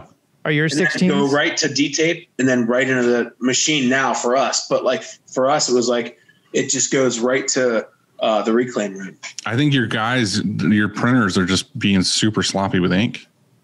Maybe you should just tell them cut that shit out. I'm telling that tomorrow morning. I'm going to say, here, I got, I figured it out. Dylan figured it out. Yeah, you guys are just fucking slobs. Well, I mean, so okay, so perfect, perfect example. My my stepson came and worked for me, um, two three weeks. He uh, he was off school, obviously, and uh, you know, first thing I had him do was peel tape. Well, he didn't know any better, and he's just peeling tape, and like ink is all over his hands. So he's grabbing the frames, but you don't train somebody to, to not know that. Like they think it's just messy part of the job. So that was like, okay, cool. I have a new process now. Here's how you clean a screen. Here's how you take ink off of a screen. Um, you know, you, you you scrape it into this bucket. You don't get it on your hands. Don't have it on your hands because everything you touch is contaminated. So for your left chests, your your your your taper for the screens tapes the whole bottom. Why? It's such a waste. Like just do the top and where the squeegee's probably going to hit in the flood bar, and that's it. You know what I'm saying? For left chest, um, usually don't tape the bottom, like you said. I mean, you would you don't have to, right? But I think he's extra cautious because of something that happened a long time ago, one day. You know what I mean? So I Sure. think he tries to just. I, I'm not shitting on you, man. I'm, I'm Right. just saying, like, you know, I we just we normally just do top and sides, I just agree. because most doesn't fill the whole screen. But We're you taping we're taping every screen the exact same way. Uh, we're using two inch tape, and we're just taping the inside of the frame just so. I mean, and this was this was pre Frank too with the whole like caulking, but like even just to avoid getting ink in a hard to reach place in the corners, we're just taping every frame. yeah. A so it so we're getting the the open mesh where the emulsion didn't hit. Right, but are you Um, coming? How far are you coming up the wall of the frame, like the inside don't of that frame? half inch, halfway. maybe half inch. I mean, our we have we have an autocoater too, um, and like it it it almost comes to the exact point where you put the tape, and then like it is at the top of the of the frame. But like, Right. I don't know. we we're you we doing, use, probably, um, we're doing probably like 75% of the tape on the screen and then 25% of the tape on the frame. Do you use But like winged said, uh, we're flood bars? really- yes. yeah. Wing flood bar. So Oh, it comes past. It's bigger than have both. 16 inches. You know, it comes. Pa- yeah, we have both too, but it comes Right. past the squeegee. Yeah. But the ink's not going outside of the wings. The ink's going on the inside. Um, What's so your what's your guys' normal uh like your your typical uh your your run job? Like what's your average um shirt job? one Well, I think I think the shirts. question I think the question that you're trying to get to is like how much ink are you putting in? Like, are you one of those guys that's like, okay, this is a you know 200 piece run. Are you putting 200 piece run worth of ink in the screen in the beginning, or No, are you no, stopping thi- and putting in no. like half? What, and what I'm asking is like if you guys have a really long run, shit starts climbing. no I'm with what. you. You know, I, I, I'm Okay, with you. so, So, I'm saying if like you normally do 100 pieces, so so for our shop, our minimum is like we, we did the math. It's 66 pieces. We does that not mean we do a thousand pieces? Absolutely, or 10,000 pieces.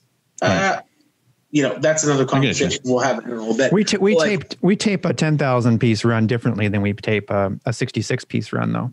right on. You know that hey, if we're running uh the sh- if we have a large run, we're going to tape it a little better, a little different. We're going to tape both sides too, just in case. You know, because the last thing you want is and you have backup screens too sometimes, just in case. sometimes but the last thing you want is to is to have a screen breakdown um, and not and not catch it for 100 or whatever 200 Sure. and so we and we're going into a larger run we tape it extra but i would say that i think it's a combination of things i think it's the fact that um, our runs range all over the place from you know 25 shirts to to to, to thousands Sure.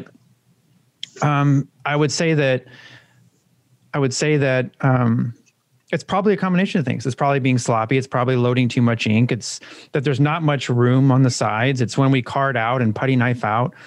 And it just not every screen is trash. Don't get me wrong, but you know, out of out of the day, you know, out of a, let's say you have a hundred screens, there's a solid third of them that need attention. You know, you can't just pull the tape off and then they're fine. There's a third of them that need something Absolutely. and so and that's a problem and um and I, Well, that's why I'm asking is because I don't know how to get out of it other than tape all the way up the wall of that frame.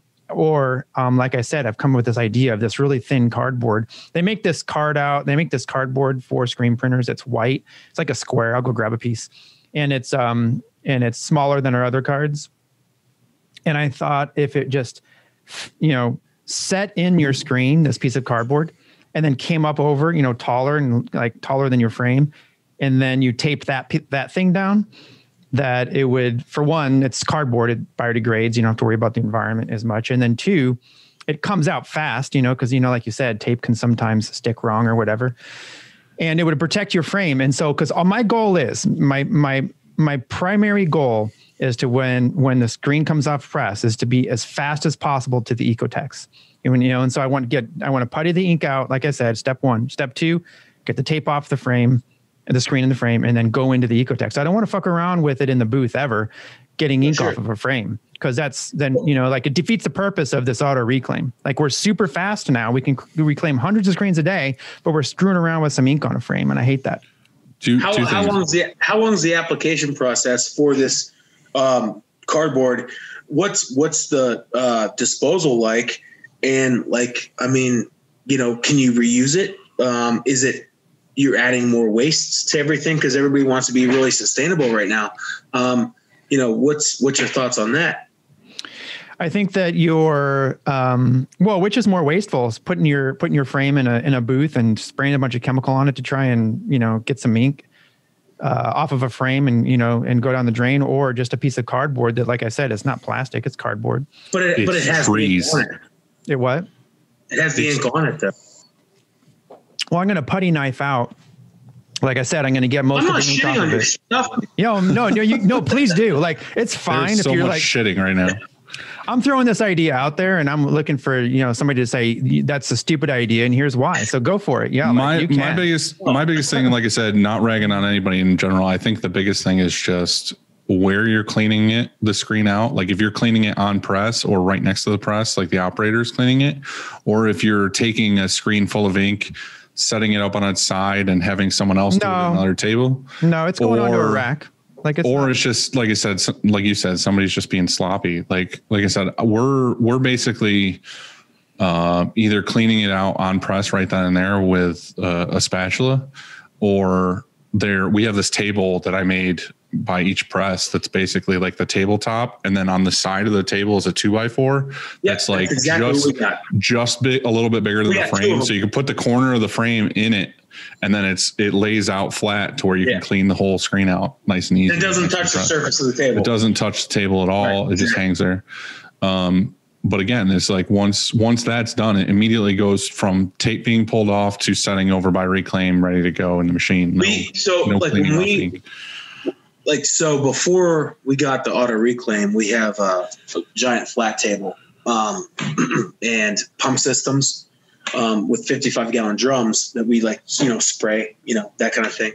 Um, but like the way we detape and you know do everything, we put on that table like kind of like what you were saying. Like, but we have two two by fours just so there's like a divot in the middle.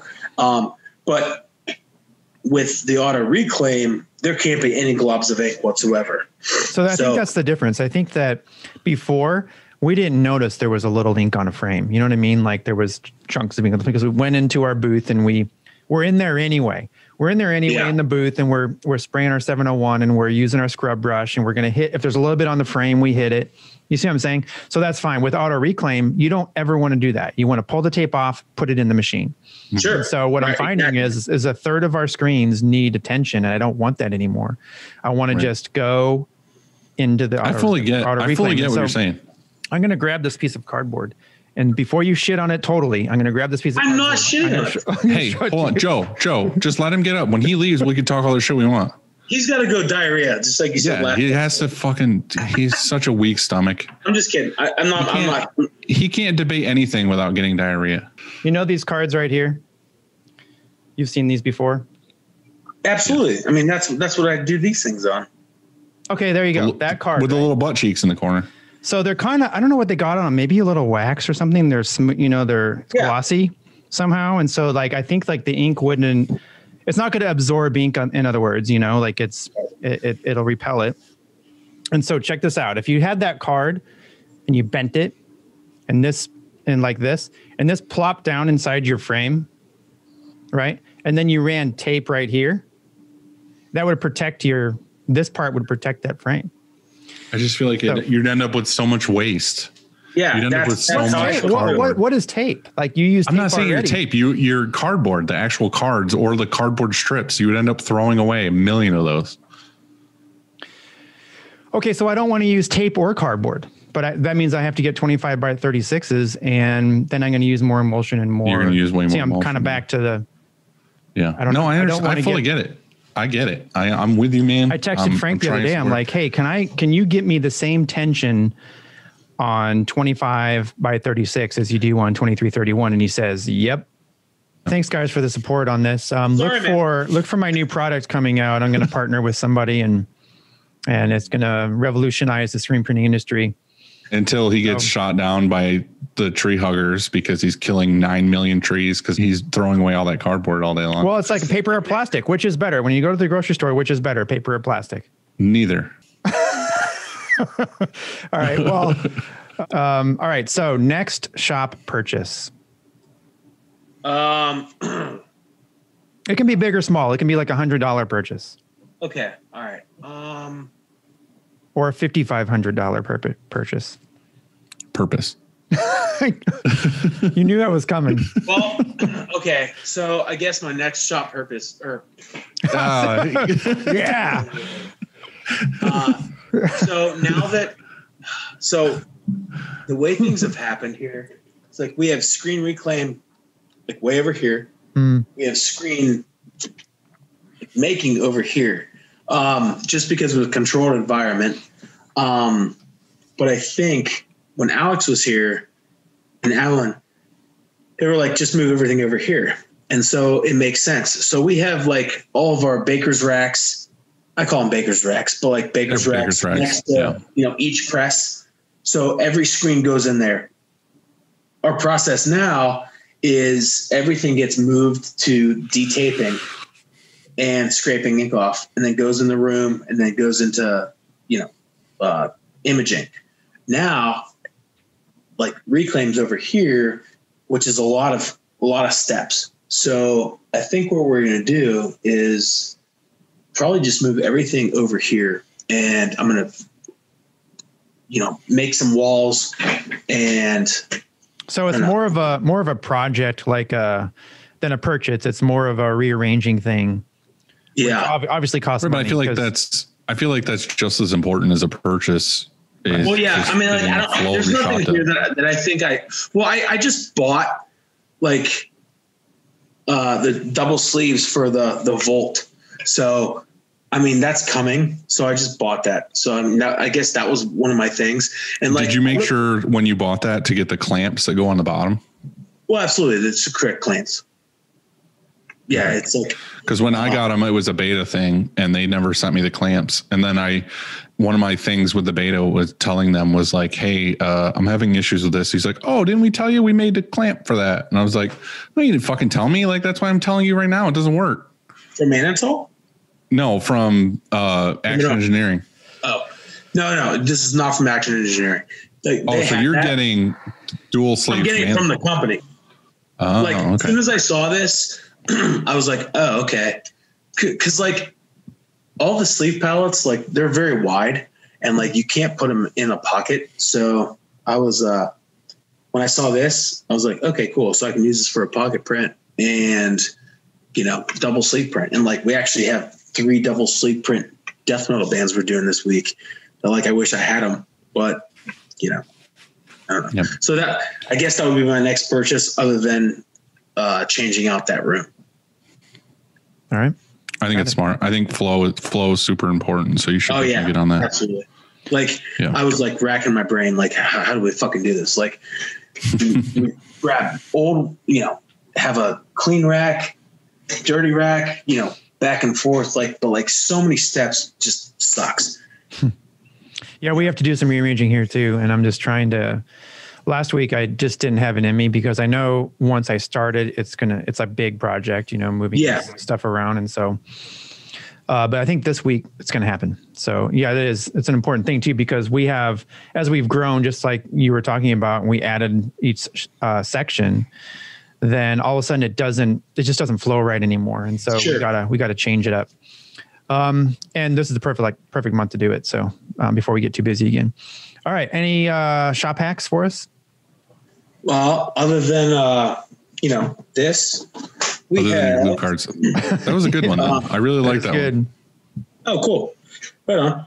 Um, do you guys ever use these um, at the beginning of your dryer, just in case anything happens?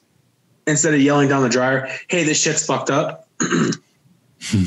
So I have No, no, uh, but no, but I have a card like this, and it has um, a color on it, and it says what happened. So it'll say um, hole, or it'll say you know ink. It's like it'll say spray out. Sorry. So there's one that says hole, and you just take the card and throw it on the shirt, or there's one that says spray out, and you take the card and throw it on the shirt, or there's one that says something else. I'll have to go grab them. What, what, what if, what if you have a bunch of different like uh, spots? Like, let's say you have like a hole in the sleeve, so you, you put a thing there, and like the person at the end of the dryer, when they see that, it's a red flag, or like uh, you know, little dot right there. like I wanted to make it specific instead of just um, we used to have something I'm not trying to shit on your system. Sure. But no, we, used, no. we used to have something where we would just put a like you said like a sticker on it and they were then because I didn't want to yell down just like you said so they say what's wrong with it and so we always we wanted it to have Nobody say can hear specific like spray out hole misprint whatever so that goes on the shirt I think then- the key is to just never have issues. Like, why do you guys have issues? I don't understand.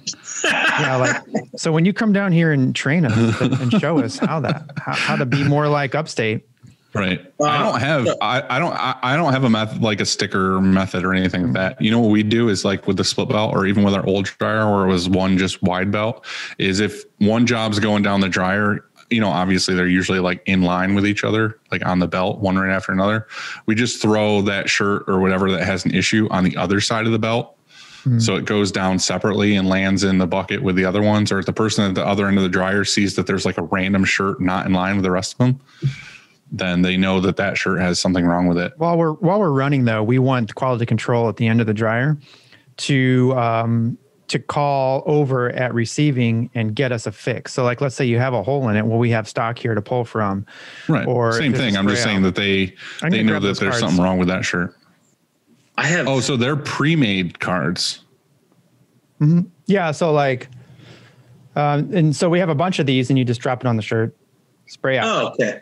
So for the people listening to this podcast, Andy is holding up cards that say hole or spray out, but they're pre-made cards. See, when you told me first, I was thinking that somebody had to quickly write what was wrong with it and then throw it down the dryer. we do that too it. but it's more like fuck off we'll write Yeah. on there and then send it down you know Right. stuff like that but And then I when they look up at you, but uh, I don't know. That's a really good. I like that shop hack. You know, and then it's it helps when you uh, if it were a spray out. This is so. I guess the bad thing about these is is when we throw it on the shirt. It's not. We usually try to get it by the spray out, but like you, you could put a Well, sticker sure. right you're there. gonna have 12 shirts before they fucking enter the belt. Yeah, I like yours. You know, you put the arrow on there and it points directly to where the spray out is, and then boom. I, I want to ask you guys a Right on. question. Yep. go ahead, go with your questions. One thing that I'm really interested about is uh, Why Andy on this podcast? Ah, Dylan, yeah, that Um, stings. Oh God, that tickled me. I have a I, I have so many questions actually, but like I know we can't get to it. Um, No, ask him. This is my favorite part of the show, honestly, is when we get asked questions. Um, Pick your favorite what's the hard what What's the hardest thing you face as owners? employees. That's easy for me. Yeah. The hardest But, part like, of I mean, like, being a business owner. This is real personal too. Like, is it uh, meetings? Is it uh, you know? No, like I love everybody here, and I've talked about this a hundred times about how everybody here is more like family and we're a close knit group and everything else. Like everything here is great with the people. It's just the problem of being a business owner is you're like you said, you're constantly trying to figure mm-hmm. out like like systems and processes to cut down on things or to make things better. But the one thing you can never count on is like human emotions. Like Oh, sure. you know, like you might have one employee that comes in that day that like broke up with their boyfriend the night before. And then it's just like, A, they're in a bad mood, or B, all they want to do is talk to every employee that goes by them that day about that issue. And then you have four people standing in a room talking about something for 45 minutes when they should be working or doing something else. And it's just like, that stuff's okay to do to a degree, but it's like for me, it's like as the owner, it's just like there's, or like I said, somebody might have an issue with something with you or with whatever, and you have to deal with it. Like to me, I don't, I'm not a confrontational kind of person. I'm not. I hate it. I hate confrontation. I hate talking to people about stuff they should do on their own because we're all fucking adults. Like that to me is the worst part 100%. when there's something when there's something I have to talk to somebody about that you should already know the fucking answer to or you should already be doing and we're the same age and we grew up the same and we're doing the same shit and I have to fucking lecture you because this is my business. That to me is the worst part of this job. Um, everything else is fucking like I would is cake to me. What about you like personally though? Like, like you and Andy, like, like, are you guys like being a business owner? Like, does it you know, take away from your life? Obviously it does, but like Definitely. is I mean, like so what you know, for me, like I, I'm not gonna like go off on a tangent, but like I want to be 100 percent on everything. Being a good friend, being a good husband, being a good dad, Right. being a good leader, you know, all that kind of shit. Like eating good, exercising, you know, whatever I can. But like being a business owner takes away from that kind of stuff 100% of the time when you're trying to be 100% all the time in Right. every aspect. You can't be. I think I I feel have like- I know. definitely. I've so everything, made- everything like suffers. You know, I might be a shit dad one month. Not, not gonna, I'm never gonna be a shit dad, but or or or- temporarily. I, I get what you're saying. Like I'm with yeah, you. There, very there- temporarily in some every aspect. sacrifices as a business owner. You know, we signed yeah. up. We signed up for this, and and some, Yeah, some of us we didn't really even know what we were getting into. But you know, it's um it's not easy, and so there's times where I've made sacrifices that. Um, things like I have I have tickets to opening day at the Cardinals or something, but I don't get to go, you know, because I'm stuck doing putting out a fire, let's say. And so there's sacrifices like that all the time, or kids things, you know, but not Sure.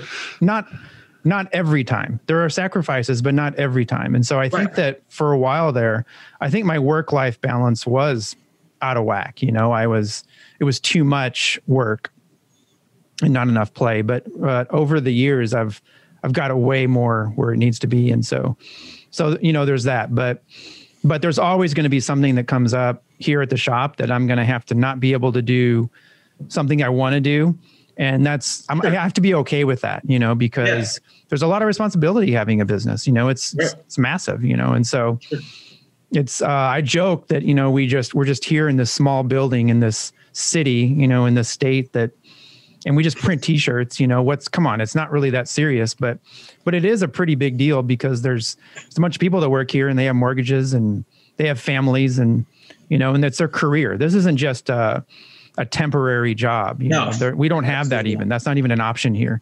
And so anybody that signs up to work here before they before they say yeah i'm going to work there i want a commitment i want them to work you know i want them to work here i tell them that there's people there that have been here for I'm on your fucking side.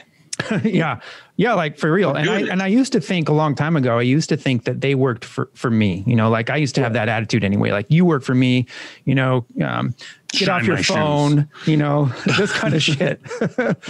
Um but i flipped that. I flipped that to say like i work for them. And so it's my job. It's my job because we don't have we're stuck in that in the middle of we're too small to have a full-time hr person but we're we're too big not to really. You know we really do need we really do need somebody like constantly working on on hr but Well, um, there- that's me you know basically that's me because i've tried to have somebody help in the past and it's just really it falls on me. And i do it i do my i work at finding the right the right person in the right job. And if something's going wrong then let's talk about it. Like why don't you what, what's up? Like is it something in your personal life? Is it something here? Tell me about it. And we need to talk about it because if they're not happy for consecutive amount of days or weeks or whatever then then that's going to reflect on their job performance. And so i want to Sure. figure out what's going on. And if we need to move you into a different spot here if you need to just not even be here you know if this is a wrong fit for you then i understand that. You're not going to hurt my feelings. Maybe it's time for you to go. You know you need to go grow. And so i don't know. I think the hardest thing i think dylan's right. The hardest thing is is Per- per hr usual. because we're we're human beings and we have we're complex and we're emotional and it's easy to figure out a fucking machine you know like it's you know like there's usually you can problem solve through it was the hardest part? yeah it's hard man so so i don't I think know the hardest part I think the hardest part for being the business owner and being a human being yourself is that like and this happens to me all the time where like I could have a great day, like a Friday, you know, it could be having a great print day. Everyone here's in a good mood, whatever's happening. And then I'll hear like a little bit of an information about how some employee was unhappy about something that I was in control of. That shit will fucking eat at me all weekend until Monday because like like I said, it's just I I don't want anybody to be unhappy. That's my biggest downfall. It's like I have such a hard time, especially customers too. There'll be a customer that's unhappy with something. I literally won't sleep for three days because like Oh, me too. It fucking bugs me so much. And that like gets that me to my core like that right. that- that's what I'm saying. is- It literally big. like I it, usually when I hear something like that, I instantly start sweating, and I'm just like, fuck, like this this is something I was in control of that that went wrong and it's affecting Well, and then at 6 and- p.m. on on a Friday, you can't change anything. no, that's like- what I mean. That's why it sucks when it happens on Yeah. Friday because that fucking eats me all weekend long. And it's just like I can't I can't talk to that employee about that issue until Monday successfully. Cause like if I call them, it's always like, oh, don't worry about it, whatever, whatever. But then on Monday it's back to work again and they're like, oh, I want to talk about this issue. And it's like, I think Well, I always, um, tell, I always tell my wife, like, you know, she, she uh, owns a salon, and like, you know, for us, if we fuck something up, we have we have some time to order extras in or that kind of stuff. You know, we'll, make the order right, hundred percent. Or if like, you know, there is a spoilage rate, you know, we'll we'll uh, you know, but uh, for her, like she she's doing hair, like so if if something's going wrong, like right then, it's like it's it's right in front of everybody's faces, and like. I couldn't imagine Right. some of that stress sometimes. I don't know. No, no way. I wouldn't want. I wouldn't want to do that. It's like it's like the same thing. Like I'll be totally honest, and like I know there's going to be people listening to this, or like I feel the exact same way, but I would never say it out loud. Is like when you could have done a job hundred percent, and you know it was good. They Everything open was the good box. about it, but. Dude, my heart sinks every single fucking time Me too. a customer picks up and they open the box. And I'm just like, what in there did we mess up? Like, what in there did we not account for? Are they not going to love it? Like, a lot of times you could print it perfectly, you could do everything you were told, but the customer builds it up in their mind of what it's supposed to look like. Right. And then when they open the box, it's what it actually looks like. And it's not about being right or being okay. Well, this email said this, you know, blah blah blah. No, it's like, are they happy? Was That's it what they wanted it to be, or Yes, is it like exactly. above their expectations? Is Yeah. what you want every time. And like I said, you know you could have knocked that shit out of the park, but as soon as they open that box, there's always something of like, oh, I wish the shirt was a little more green than I thought it was, or like, you know what I mean? There's always something that it's just like, I know, I honestly don't want to be here. Like when a customer shows up to pick up an order, I want to be the furthest from fucking this place I ever. like that's the truth and it like like i said it's just that to me is like nice for where i am is that i don't have a lot of pickups that everything gets shipped and i don't have to deal with that as much but that's the truth of it is it's just like you could do an amazing job but still just be terrified of that like what are It- they going to think thing because it's like every like it's the airport face where like you know your ticket doesn't is not valid. You're like, like yeah?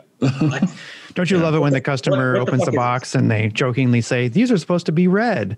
yeah Yeah, and Go, then oh, just kidding. right Don't and then you and have say that. and then you have a fucking heart attack Oh my god, my my throat stinks to my chode. You know what I'm saying? Like it's, like, it's the worst thing ever. yeah Ugh. It's not so what, funny. what other what other questions did you have Um, who taught you how to run a business?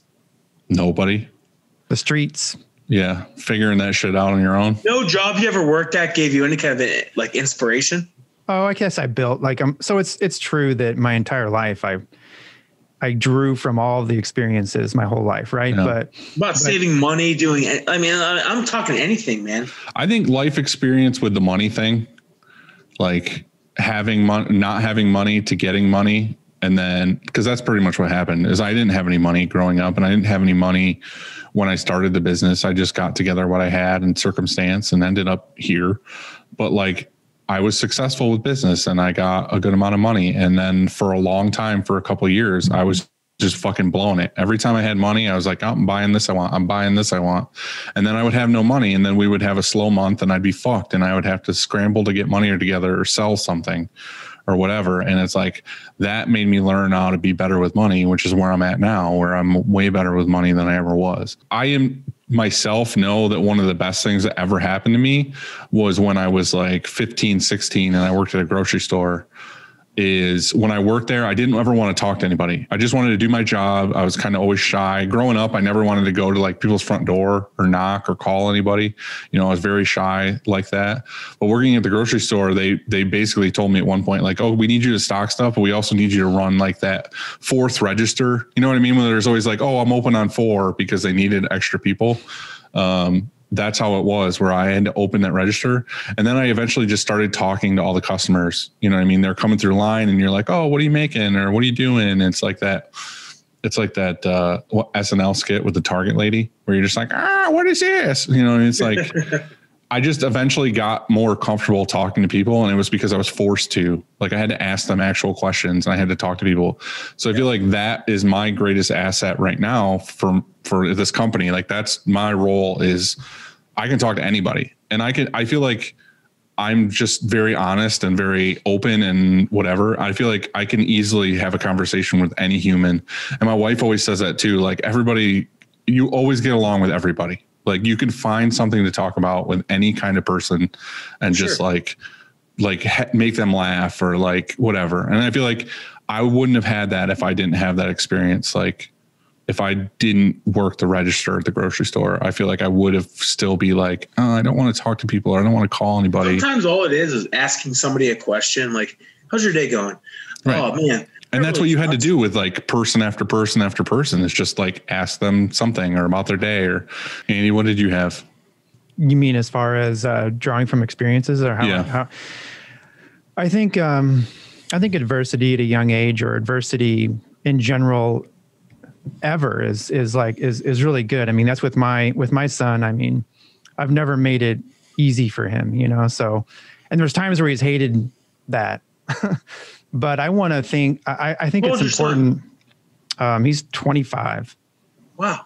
Yeah. Andy's 900 years old. I Um, had him when I was 10. So, was- but, uh, you know, he's, he's, uh, and so he's, he runs production, um, at a different shop. He's a production manager somewhere because he grew up around screen printing. But, um, he, he, uh, you know, like, but the entire time he was growing up though, I, I tried to, tried to make it like, tried to make it tough on him. And so just knowing that, well, maybe one day he may want to have a business or, or whatever, or just in life in general, you know, like, ne- never make it never make it too easy. I think spoil them at a at like age t- like to maybe three or four or whatever. But after that, like it's like hard, you Right, know. And so so yeah, he's had to deal with that. And it was kind of the same way for me. So um, I kind of I'm I'm super guilty of that, like spoiling my kids, like because again, I didn't have stuff like that when I was a kid, and like when they say they want something or into something, I like I'm definitely guilty of getting it for them because I want them to like experience that thing. But it was funny, like my daughter's eight and my son's ten, and like my son, like it was probably a year ago now, got to the point where I realized it was a problem that I was like getting him things or doing things for him was like I can't remember what it was. Oh, it was uh we did irrigation around my house. We we, like Okay. dug it all out and we put French drains in. So I like water that runs off my house would go in the drains.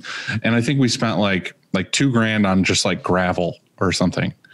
And uh my son was like asked me that day if he could have something. Like he wanted me to buy him some video game or something. And uh he got pissed off that I said no. Like, like, no, I just bought you a game like two days ago or something. He's like, he's like, oh, you, you, know, just because dad makes all the money and dad's willing to go spend two thousand dollars on dirt, he can't buy me a fucking video game or whatever. And he like wrote it down on a piece of paper and like put it on the outside of his bedroom door because he was like so frustrated that like, like he didn't get something handed to him. From that moment on, I don't buy them anything. Like, like literally, I told them both, both kids, I'm like, you can earn an allowance every week. Like, here's your chore chart. You finish your chores, you do everything you're supposed to do by Sunday night. I'll give you 20 bucks. And it's like, if you want to buy something and it's 40 bucks, guess what? It takes two weeks to get it. Like, that's how shit is now. and it was just funny because it was one of those moments where like, it just clicked to me of like, I can't, I can't just get these kids things because then someday they're just going to think everything gets handed to them. And I'm like, no, you guys have to work for everything now. Sure. Yeah, with my kiddo, I just wanted to make him likable. It was my number one goal. And then also uh, teach him how to be, um, teach him like, you know, the real world, like how it would be in the real world. You know, You don't drop them off in the streets too. Find your way home. I do that. I take them into the city and I kick them out of the car and I say, if you come home, there's a meal waiting for you. If not, I guess I could make a new Make kid. the way home. Here's a cup.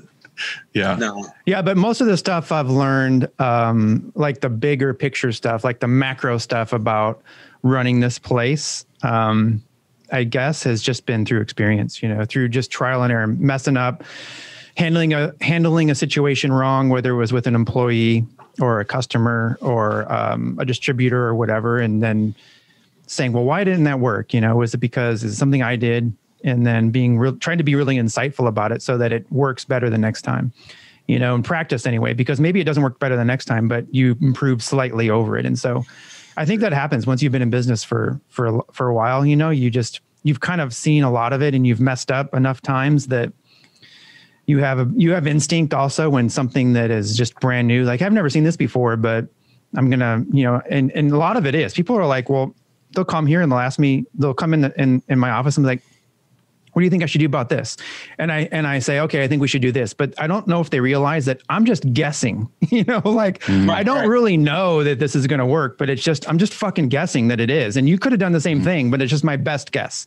And what I think is important is is that you make the decision, take your best guess, and if it's wrong, then just you know Yeah, but you get Correct. to own it. You own it at that point. Oh, own it and say, I, "Hey, this is the wrong Right. decision." You know, like Right. whatever we did is wrong. But then you have to learn how to like just do the, you know, like, hey, admit it soon and recognize that it was wrong, and then shift to something else, like correct it. You know what I mean?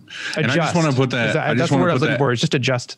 Yeah. I want to put that ax- asterisk on this conversation and say that, like, I definitely don't know the answer to a lot of things and I'm still learning every day. And to me, that's what the best thing about this podcast is, is we kind of just three of us always get to brainstorm like, what's the best way to handle this situation? And like, I definitely know a lot of things just from life experience and like street knowledge and stuff like that, like to this point in my life and I'm happy to give that information to anybody that's still working on trying to get where I'm at.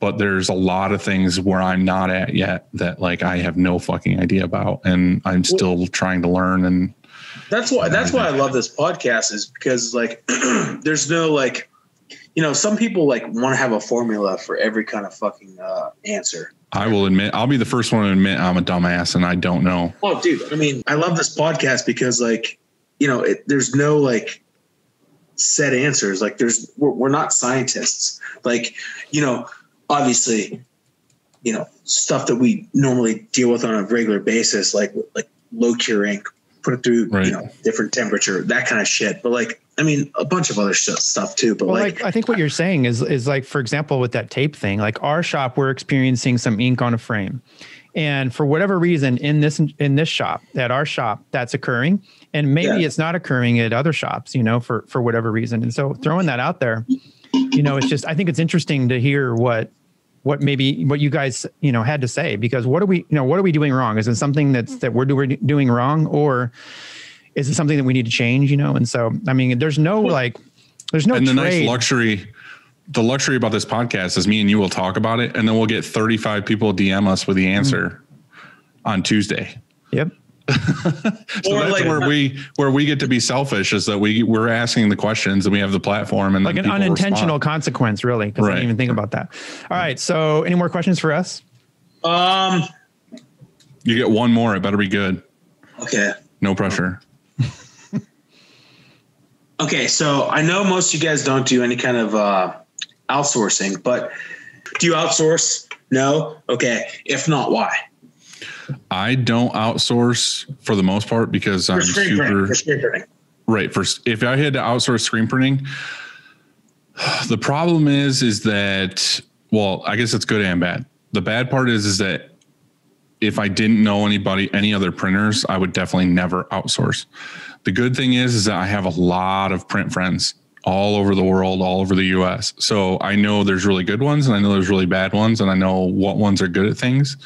So I've said that multiple times that like if anything ever happened and for some reason I had to start a new company and I was solo, I would know exactly like I would go back to doing what I was doing from the beginning is just outsourcing stuff. I would know exactly what printer and what part of the country I would send stuff to because I I, know gue- they're I guess good. this does have a follow-up question too and like you can keep answering i, I just uh i'm sorry yeah, Yeah, I if you ever get a if you ever get an order in St. Louis, don't send them here. don't send to Andy. yeah, Yeah, you already I'll tell know. you right like now. so, he knows a lot of printers that are good, knows a lot of them that are bad, and Who were we talking to? Was it Barrel Maker? And he was like, I would absolutely not send it. oh no he was talking about live printing yeah, yeah. No, don't turn it around. Yeah, Let's I keep don't it think- where- i listen to everything i listen to everything oh, I'm a- Oh, I'm a God. sponge.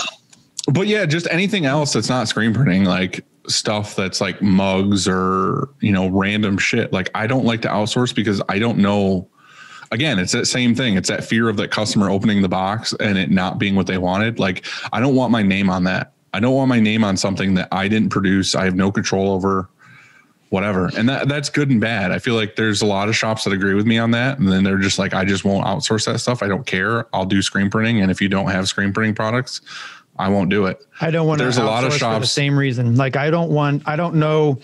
I know that. Here's what I would rather do. Like I don't want to just mark up something, you know, fifty cents or whatever, and have somebody else do the work on outsourcing. And I know some people would tell me that that's crazy. You should do that. Right. There's but like when I got an order. I got somebody. Con- I had somebody contact me um, a month ago, or whatever, and they said, "Hey, I've got this really hot um, order. I need it done, and it's twelve color. Can you do it?"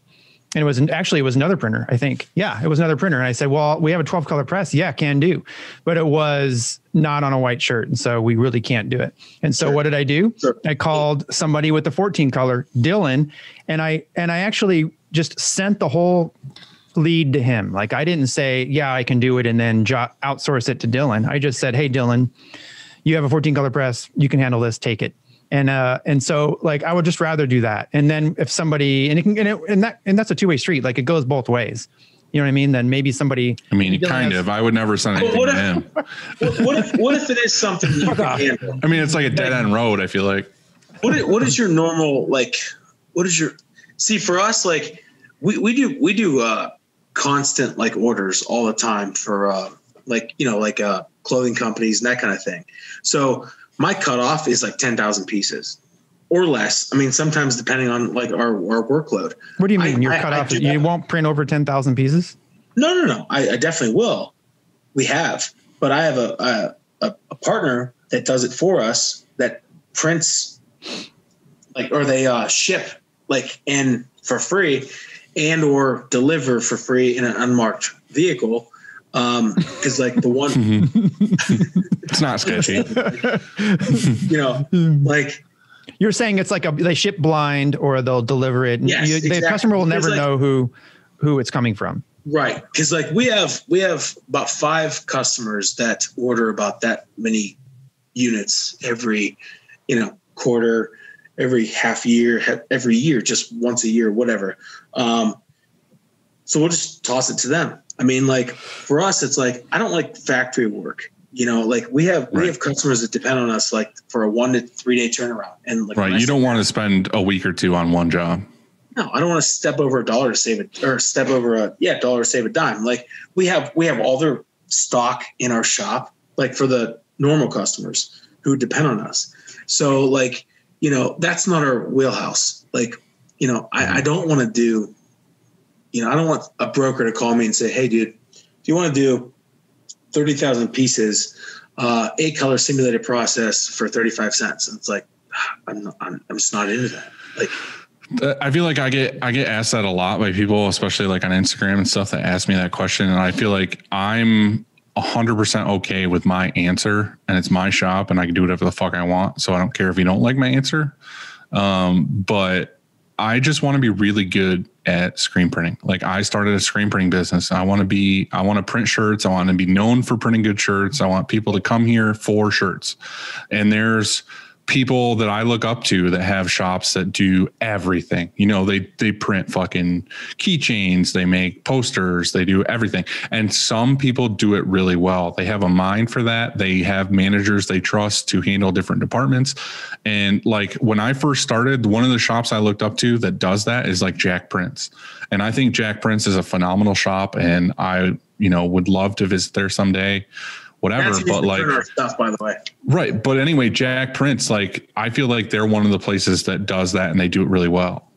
But like, I just don't have the capacity. I don't have the mind to be like, I want to do screen printing. And then next door, I have a sign shop. There's and then we nothing also wrong, do Dylan. keychains. like there's nothing wrong with being a specialist i mean you go to Right. But that's uh, what I'm saying is my business wise, I have no ambition to do a hundred things. I just want to Oh. do I'm the, I'm. I'm the same way. I mean, like we're not, we're not geared for that kind of thing. I don't know. We we do do contract work, but mostly it's for like embroidery shops that want to like just throw us like hundred pieces. I'm with you. I mean, I think we're all all three the same. There's nothing wrong with being um, a shop that also does, um, whether it's promo products or or whatever. But that's just not who we are. We're a specialist. We we are. That's what I was going to give the analogy of is doctors. You know, there's heart specialists, there's knee specialists, Right, exactly. And just we happen to be t-shirt specialists and that's all we want to mess with and if you have an issue with something else or if you want something else then we're not that place um, right, exactly. quick takes Yeah. um, we've got some dylan you want to kick it off Oh yeah, hold on. I gotta pull it up. uh, if you had a superpower, what would it be? Be invisible. Classic. Well, or or or no, that that ah it's a good one See, I thought about this too. I thought that when I saw Andy's quick takes earlier, I thought about it and I was like, you know what I would really love to do is I would love to be able to fly. Like I would love to just be able to like jump in the air and like fucking take off. Cause then I could visit any cool wouldn't place I it. wanted to visit. That's, that's the only thing. yeah, I don't want to drop from 10,000 feet Yeah, you because can my fly really Who- I'm just saying, like- tell you that you're not going to though. Right. But that's the thing. I was like, you know what else I would really love is I would really love to be like, I would love to be able to be like a couple hundred years old so that I could like experience like as much as I wanted to. So, you know, I was like, who who lives to be really old, can fly and do all these other cool stuff? And it's Thor. Thor's fucking old as shit. And he can fly with his hammer and he's fucking good looking. And No. he can be fat piece of shit no, Thor too. no, you can only be Did you ever watch said one Adventures of superpower one Yeah, superpower yeah, but if you were a superhero like Thor, you have the, all those abilities because you're a god. Hmm. Well Did you ever that's- watch Adventures in Babysitting? no, No, What? I, I never even heard of it Like yeah, I don't watch the CW. Adventures in Babysitting? Never watched that before. No, Holy fucking. gonna have to now it sounds like sounds Yeah. sounds like we missed out Oh, yeah. You also got to watch Greasy Strangler. I, don't feel like those aren't on the same channel. All right. So you like movies? All right. favorite beverage All right. So I'm going to sound really fat right now, but it's uh, Diet Sprite Chocolate. Canyon. I thought the same thing. Chocolate milk for sure when you said that. Yeah, No, Diet Sprite. I'm gonna sound really fat right now. Diet Sprite in a uh, can is melted my butter. absolute favorite thing in the entire world. I drink You're a like, ton oh, of water melt- too, but No, melted butter. no. I'm gonna sound really fat right now. My favorite drink is melted butter. What are you guys? The next question, the next quick take is he already kind of answered that, but well, let's hear it. Which let's is hear the what? per- Perfect size order. yeah, perfect size order. What's the your like the ultimate order that, that you want in your shop, size wise? I love 100 shirts, white, white, black ink. But One hit. That's it. Like that's a sweet spot right there. Yeah. All right. Well, I have a feeling we're going to go down a rabbit hole here. Um, but favorite TV show as a kid? Wonder Years. Oh yeah, forgot Not about bad. that one. Not bad. I forgot about that one. do you mean not bad? No, it's fucking amazing. No, I know. It's I'm, I'm And with you that's- on I, that one. I didn't know what you guys were going to ask me. And like, that was like, that was, He he was he was in immediate I that. one. follow Danica McKellar, who is Winnie Cooper, and uh, well, Roseanne too. I love Roseanne. Um, but Nice. yeah, I just I love both those shows. Quantum Leap was my favorite show. I never watched it. That's awesome. Mine was investment. and I I recently I recently just acquired the full series. Like, I, I think it might be DVDs, but like I had like season like three and four for the longest time, and I finally found like a used version of all of them. So I'm excited to be able to go through them. What about you, Andrew? Um, let's see. I'm gonna have to go with. Oh, there's so many good ones, but as a kid, like a like a little kid, Gilligan's Well, Island. Okay, It just reminds I love, you of I love me. that show. Yeah, yeah. It was, it was just so good. I loved it. When Andy Um, was a kid, they didn't have TV; they only had the radio. yeah, well, when TV came out when I was a kid, eventually, yeah, it was Gilligan's Island for sure. um, best drive-through meal or your favorite place to get drive-through from? Are you talking about fast food or like? Hmm? Anything, just as long Anything as you that just you got to drive drive through. through. Yeah. Okay, um, Hmm. right now, not like as a kid or anything. Like right no, now. yeah, yeah, I got gotcha. Uh, so if I were to go right now, fuck with some stuff, probably. uh, I mean, I don't really like fast food, but like, I really like Rally's. I don't, do you guys have Rally's out there? Yeah, we do. You do. No. We do, but I haven't been in in years, so I don't know. I, I don't mean, know what they have it- anymore. It just kind of came. Um, I don't know. Like, I, I don't. I don't really go to fast food though. Like, but so much is drive through now. Um, but yeah, I, This is easy for me. You know what? I'm gonna I'm gonna wake up in a cold sweat tonight and be like, God damn it! Why didn't I say this? This is easy for me too. What right, you got, up? Dylan? Chick Fil A. Same, like no doubter. See, we have Chick Fil A. I've, I've never I've never had Chick Fil A. Well, you fucked up. We went And to Chick Fil A. close. um, we went to Chick Fil A like two weeks ago, and and so we pull up, and for the first time ever that I've ever been to Chick Fil A, they hand me the wrong bag. Like so when we open it, it's the wrong stuff. I'm like, oh, you know, this is the wrong stuff. And the guy immediately started like shaking and like sweating, like, holy cow. The manager came fucking flying up. And I know like that was probably it. Like he's done. like there's there's you're And he- out of here. Like they have no there's no second chances there. You like fucking high kicked him. it was like a teenager, you know, they're like, oh God. You know, like everything shut down there. No, but for real, like I was the first time ever they did something wrong and they but they fixed it fast, like super fast. And said, "That's Uh, fine." I I like Chick Fil A, but Chick Fil A for us is not because it's normally like a southern kind of thing. Um, but there's there's one Chick Fil A near us, and it's an hour and a half away. And there's days where it's like lunch, and I'm like, I'm going. Like it's a Oh God, are three hour serious? trip to get Chick Fil A. So I drive an hour and a half, get it, and drive an hour and a half back. You got to buy it for the next day too, then like extra. Oh yeah. Oh, definitely. Anytime I go to Chick Fil A with anybody here, they know automatically I'm ordering like six sandwiches. I'm just like I want, or I want you know two originals, two spicy sandwiches, and a chocolate shake. So, and there's times where my friends will be like going through Syracuse to like get something. Well, that's where the Chick Fil A is, and they'll just call me and be like, "Check your mailbox," and I'll go down to my mailbox at my house, and there's like four Chick Fil A sandwiches in the mailbox for me. so that's that's dedication. I like that. Yeah, And you and you eat them cold. cold. Your Yes, mailbox. dude, I like Yeah. cold cold Chick Fil A sandwiches, which is funny because too like uh, Alexis and Tyler uh, in house apparently get Chick Fil A like every other day, and like that she's always posting her Chick Fil A, and she always tags me, and it just pisses me off that she's eating so much Chick Fil A, and I have none. We all we got What's left for is what yeah, that's just that's the last thing. What's for dinner? Well, my Rally's? wife texted me and she was like, uh, she says she is like, I mean, she's a small girl, like I don't know, but she's like like on and off keto. Can you? So you're eating you're eating brown rice tonight and quinoa is what you're saying? And saying. diet sprite.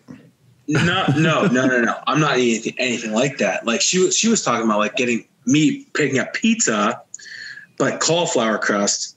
Mm, So like, which is actually pretty good. It's not bad. Um, but I don't know.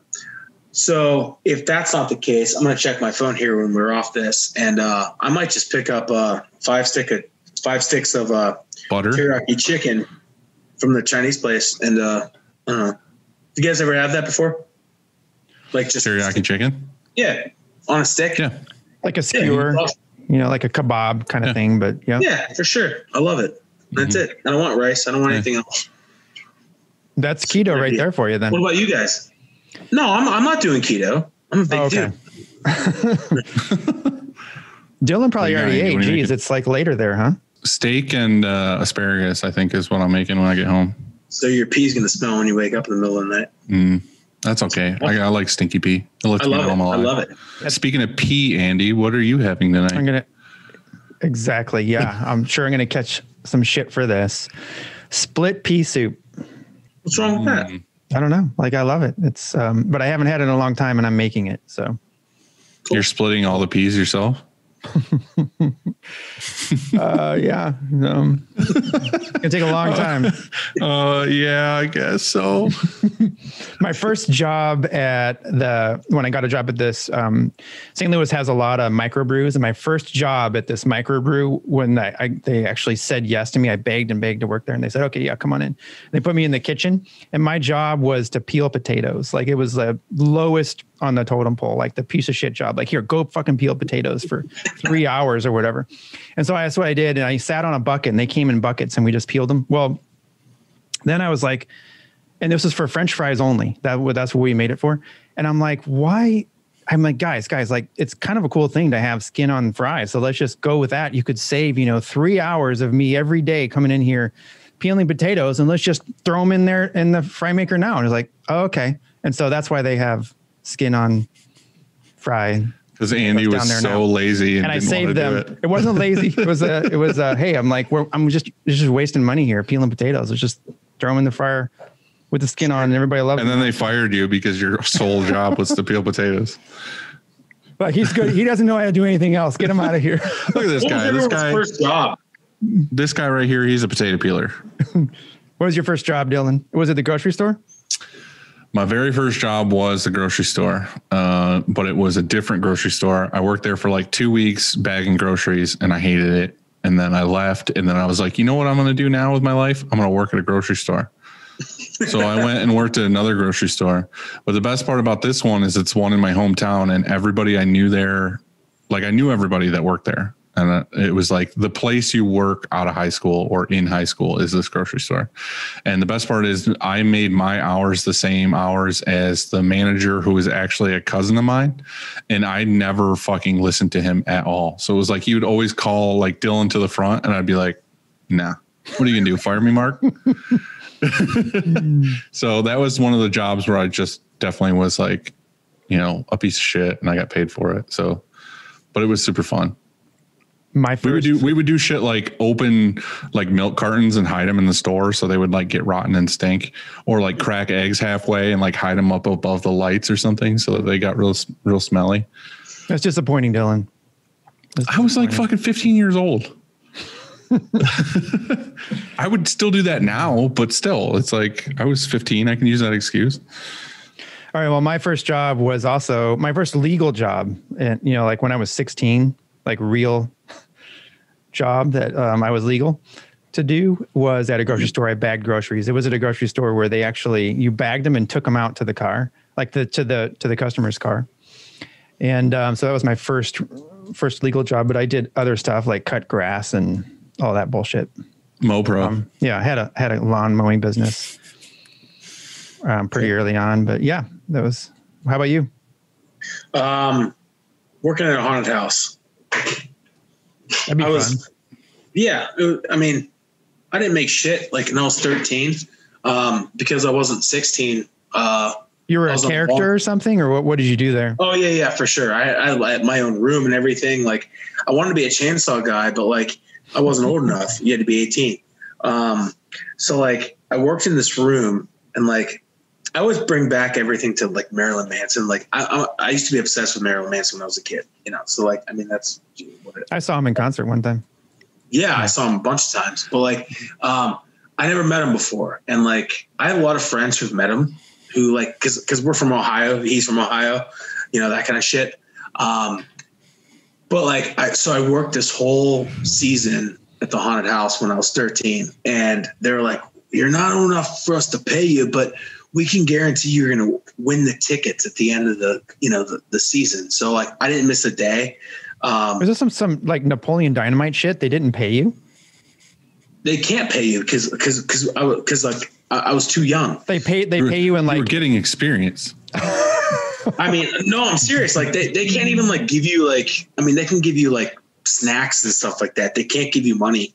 Um, and like the way haunted houses work is usually you're not paid hourly. You're paid by like the whole season. And like if you don't miss this, you don't miss that. You know, because I stayed from from 13 to almost 18. But like um but that first season, they were like, dude, you've been here every single day. So we're going to, you know, make sure you win the tickets for Marilyn Manson. So like so I won the tickets to see Marilyn Manson. At 13. Yeah, That's this is my second time seeing him actually, and uh, Was that your first con? Oh, so what was your first concert ever? It was Marilyn Manson. But Dylan, your first 12. concert? Was- Goo Goo Dolls. For real? What is it? Yeah. Or was it? Okay, that's cool. Goo Goo Dolls? Mine was Def Leppard. Yeah, I saw Def Leppard not that long ago, like two years ago. That'd be a good one. I went with my dad. Matt, what was the best concert you ever saw or Hmm. show? Like I, I don't even call shows concerts. Like I, I just call them Yeah. shows. No, you. Yeah, you did. I've been to a million, so I. But I mean, like the best I- ever. I mean, who cares? Like how big or small it is. My favorites were always probably like every time I die shows or the chariot shows because every time I die is from here. They're like from Buffalo. Yeah. So like going to a Buffalo show with every time I die is like the craziest fucking crowd ever. Like everybody's moving, like everybody's throwing everybody. And it's just so much fun, like the most fun. And the same with like chariot shows back when I was in Atlanta, because that's where they're from, is from Atlanta. So like those hometown shows for those bands that were already my favorite bands anyway, like just seeing them in their hometown and seeing them often too. It's not like like I've probably seen every time I die like fucking 30 times. And it's like it's just fun every time, no matter what, even if it's the same album, same thing over and over again. But I can say that like because those are crazy fun shows, but I can also say like the big the best biggest concert I've ever seen was like Garth Brooks. And that was just because it was like you know, it's like it's Garth Brooks. Like it could be, they, he was just the biggest thing, and everybody knows every song on the radio. So it was like we have to go to Garth Brooks when he did like his world tour or whatever. Right. And it was just fun to go to like a. It'd be like going to see like oh I went to a Beyonce concert or something. It was just like this huge spectacle thing to Yeah, it go was see. fucking awesome. Yeah. Yeah, I think there's that the end you answered that two different ways. Like one, where, where'd you have the most fun? You know, and mine would have Right. been um, 311, small venue, like early on in, in those in their in their years. But the best concert, like it just sounded the best, and I was so excited to go to, would have been Nine Inch Nails. Um, I've seen them a few times, but I had a comment real quick before we end this about uh, Marilyn Manson, and it was funny because like when I was a kid, we, me and my brother, were part of that. Uh, what is it? Uh, the Columbia House CD thing, you know, where you would like Oh, yeah, pay yeah. a penny and get like twenty CDs or whatever it was. yeah, How many And, times you uh, wrote them me- off? Dude, we did. We got so many fucking CDs from that thing, like I know, over dude. and over and I'm over so, and I'm so over. again. embarrassed by it, but yeah. Yeah. So anyway, like I remember one of the things is I got Marilyn Manson CD, and that was the time when he blew up of like this huge thing with like moms. Remember, like there was like moms that went to court or whatever Yeah. because like of his CDs and stuff. I remember my mom like watching that on TV and then realizing that I had just got that album in that thing. And she, I remember she like lost, she didn't like lose it, but she was like, concerned that I was into like Satanism and stuff, and like Did she grabbed, it like away? took it away from me, and yeah, Uh. like locked it in a drawer and wouldn't give it back to me and stuff. And it was just like so funny because it was like we we grew up in that, and it was just like it was just funny. It just remained it reminded me of that fucking Columbia Club. so we have a split pea soup still. I got to go home. I got to make it.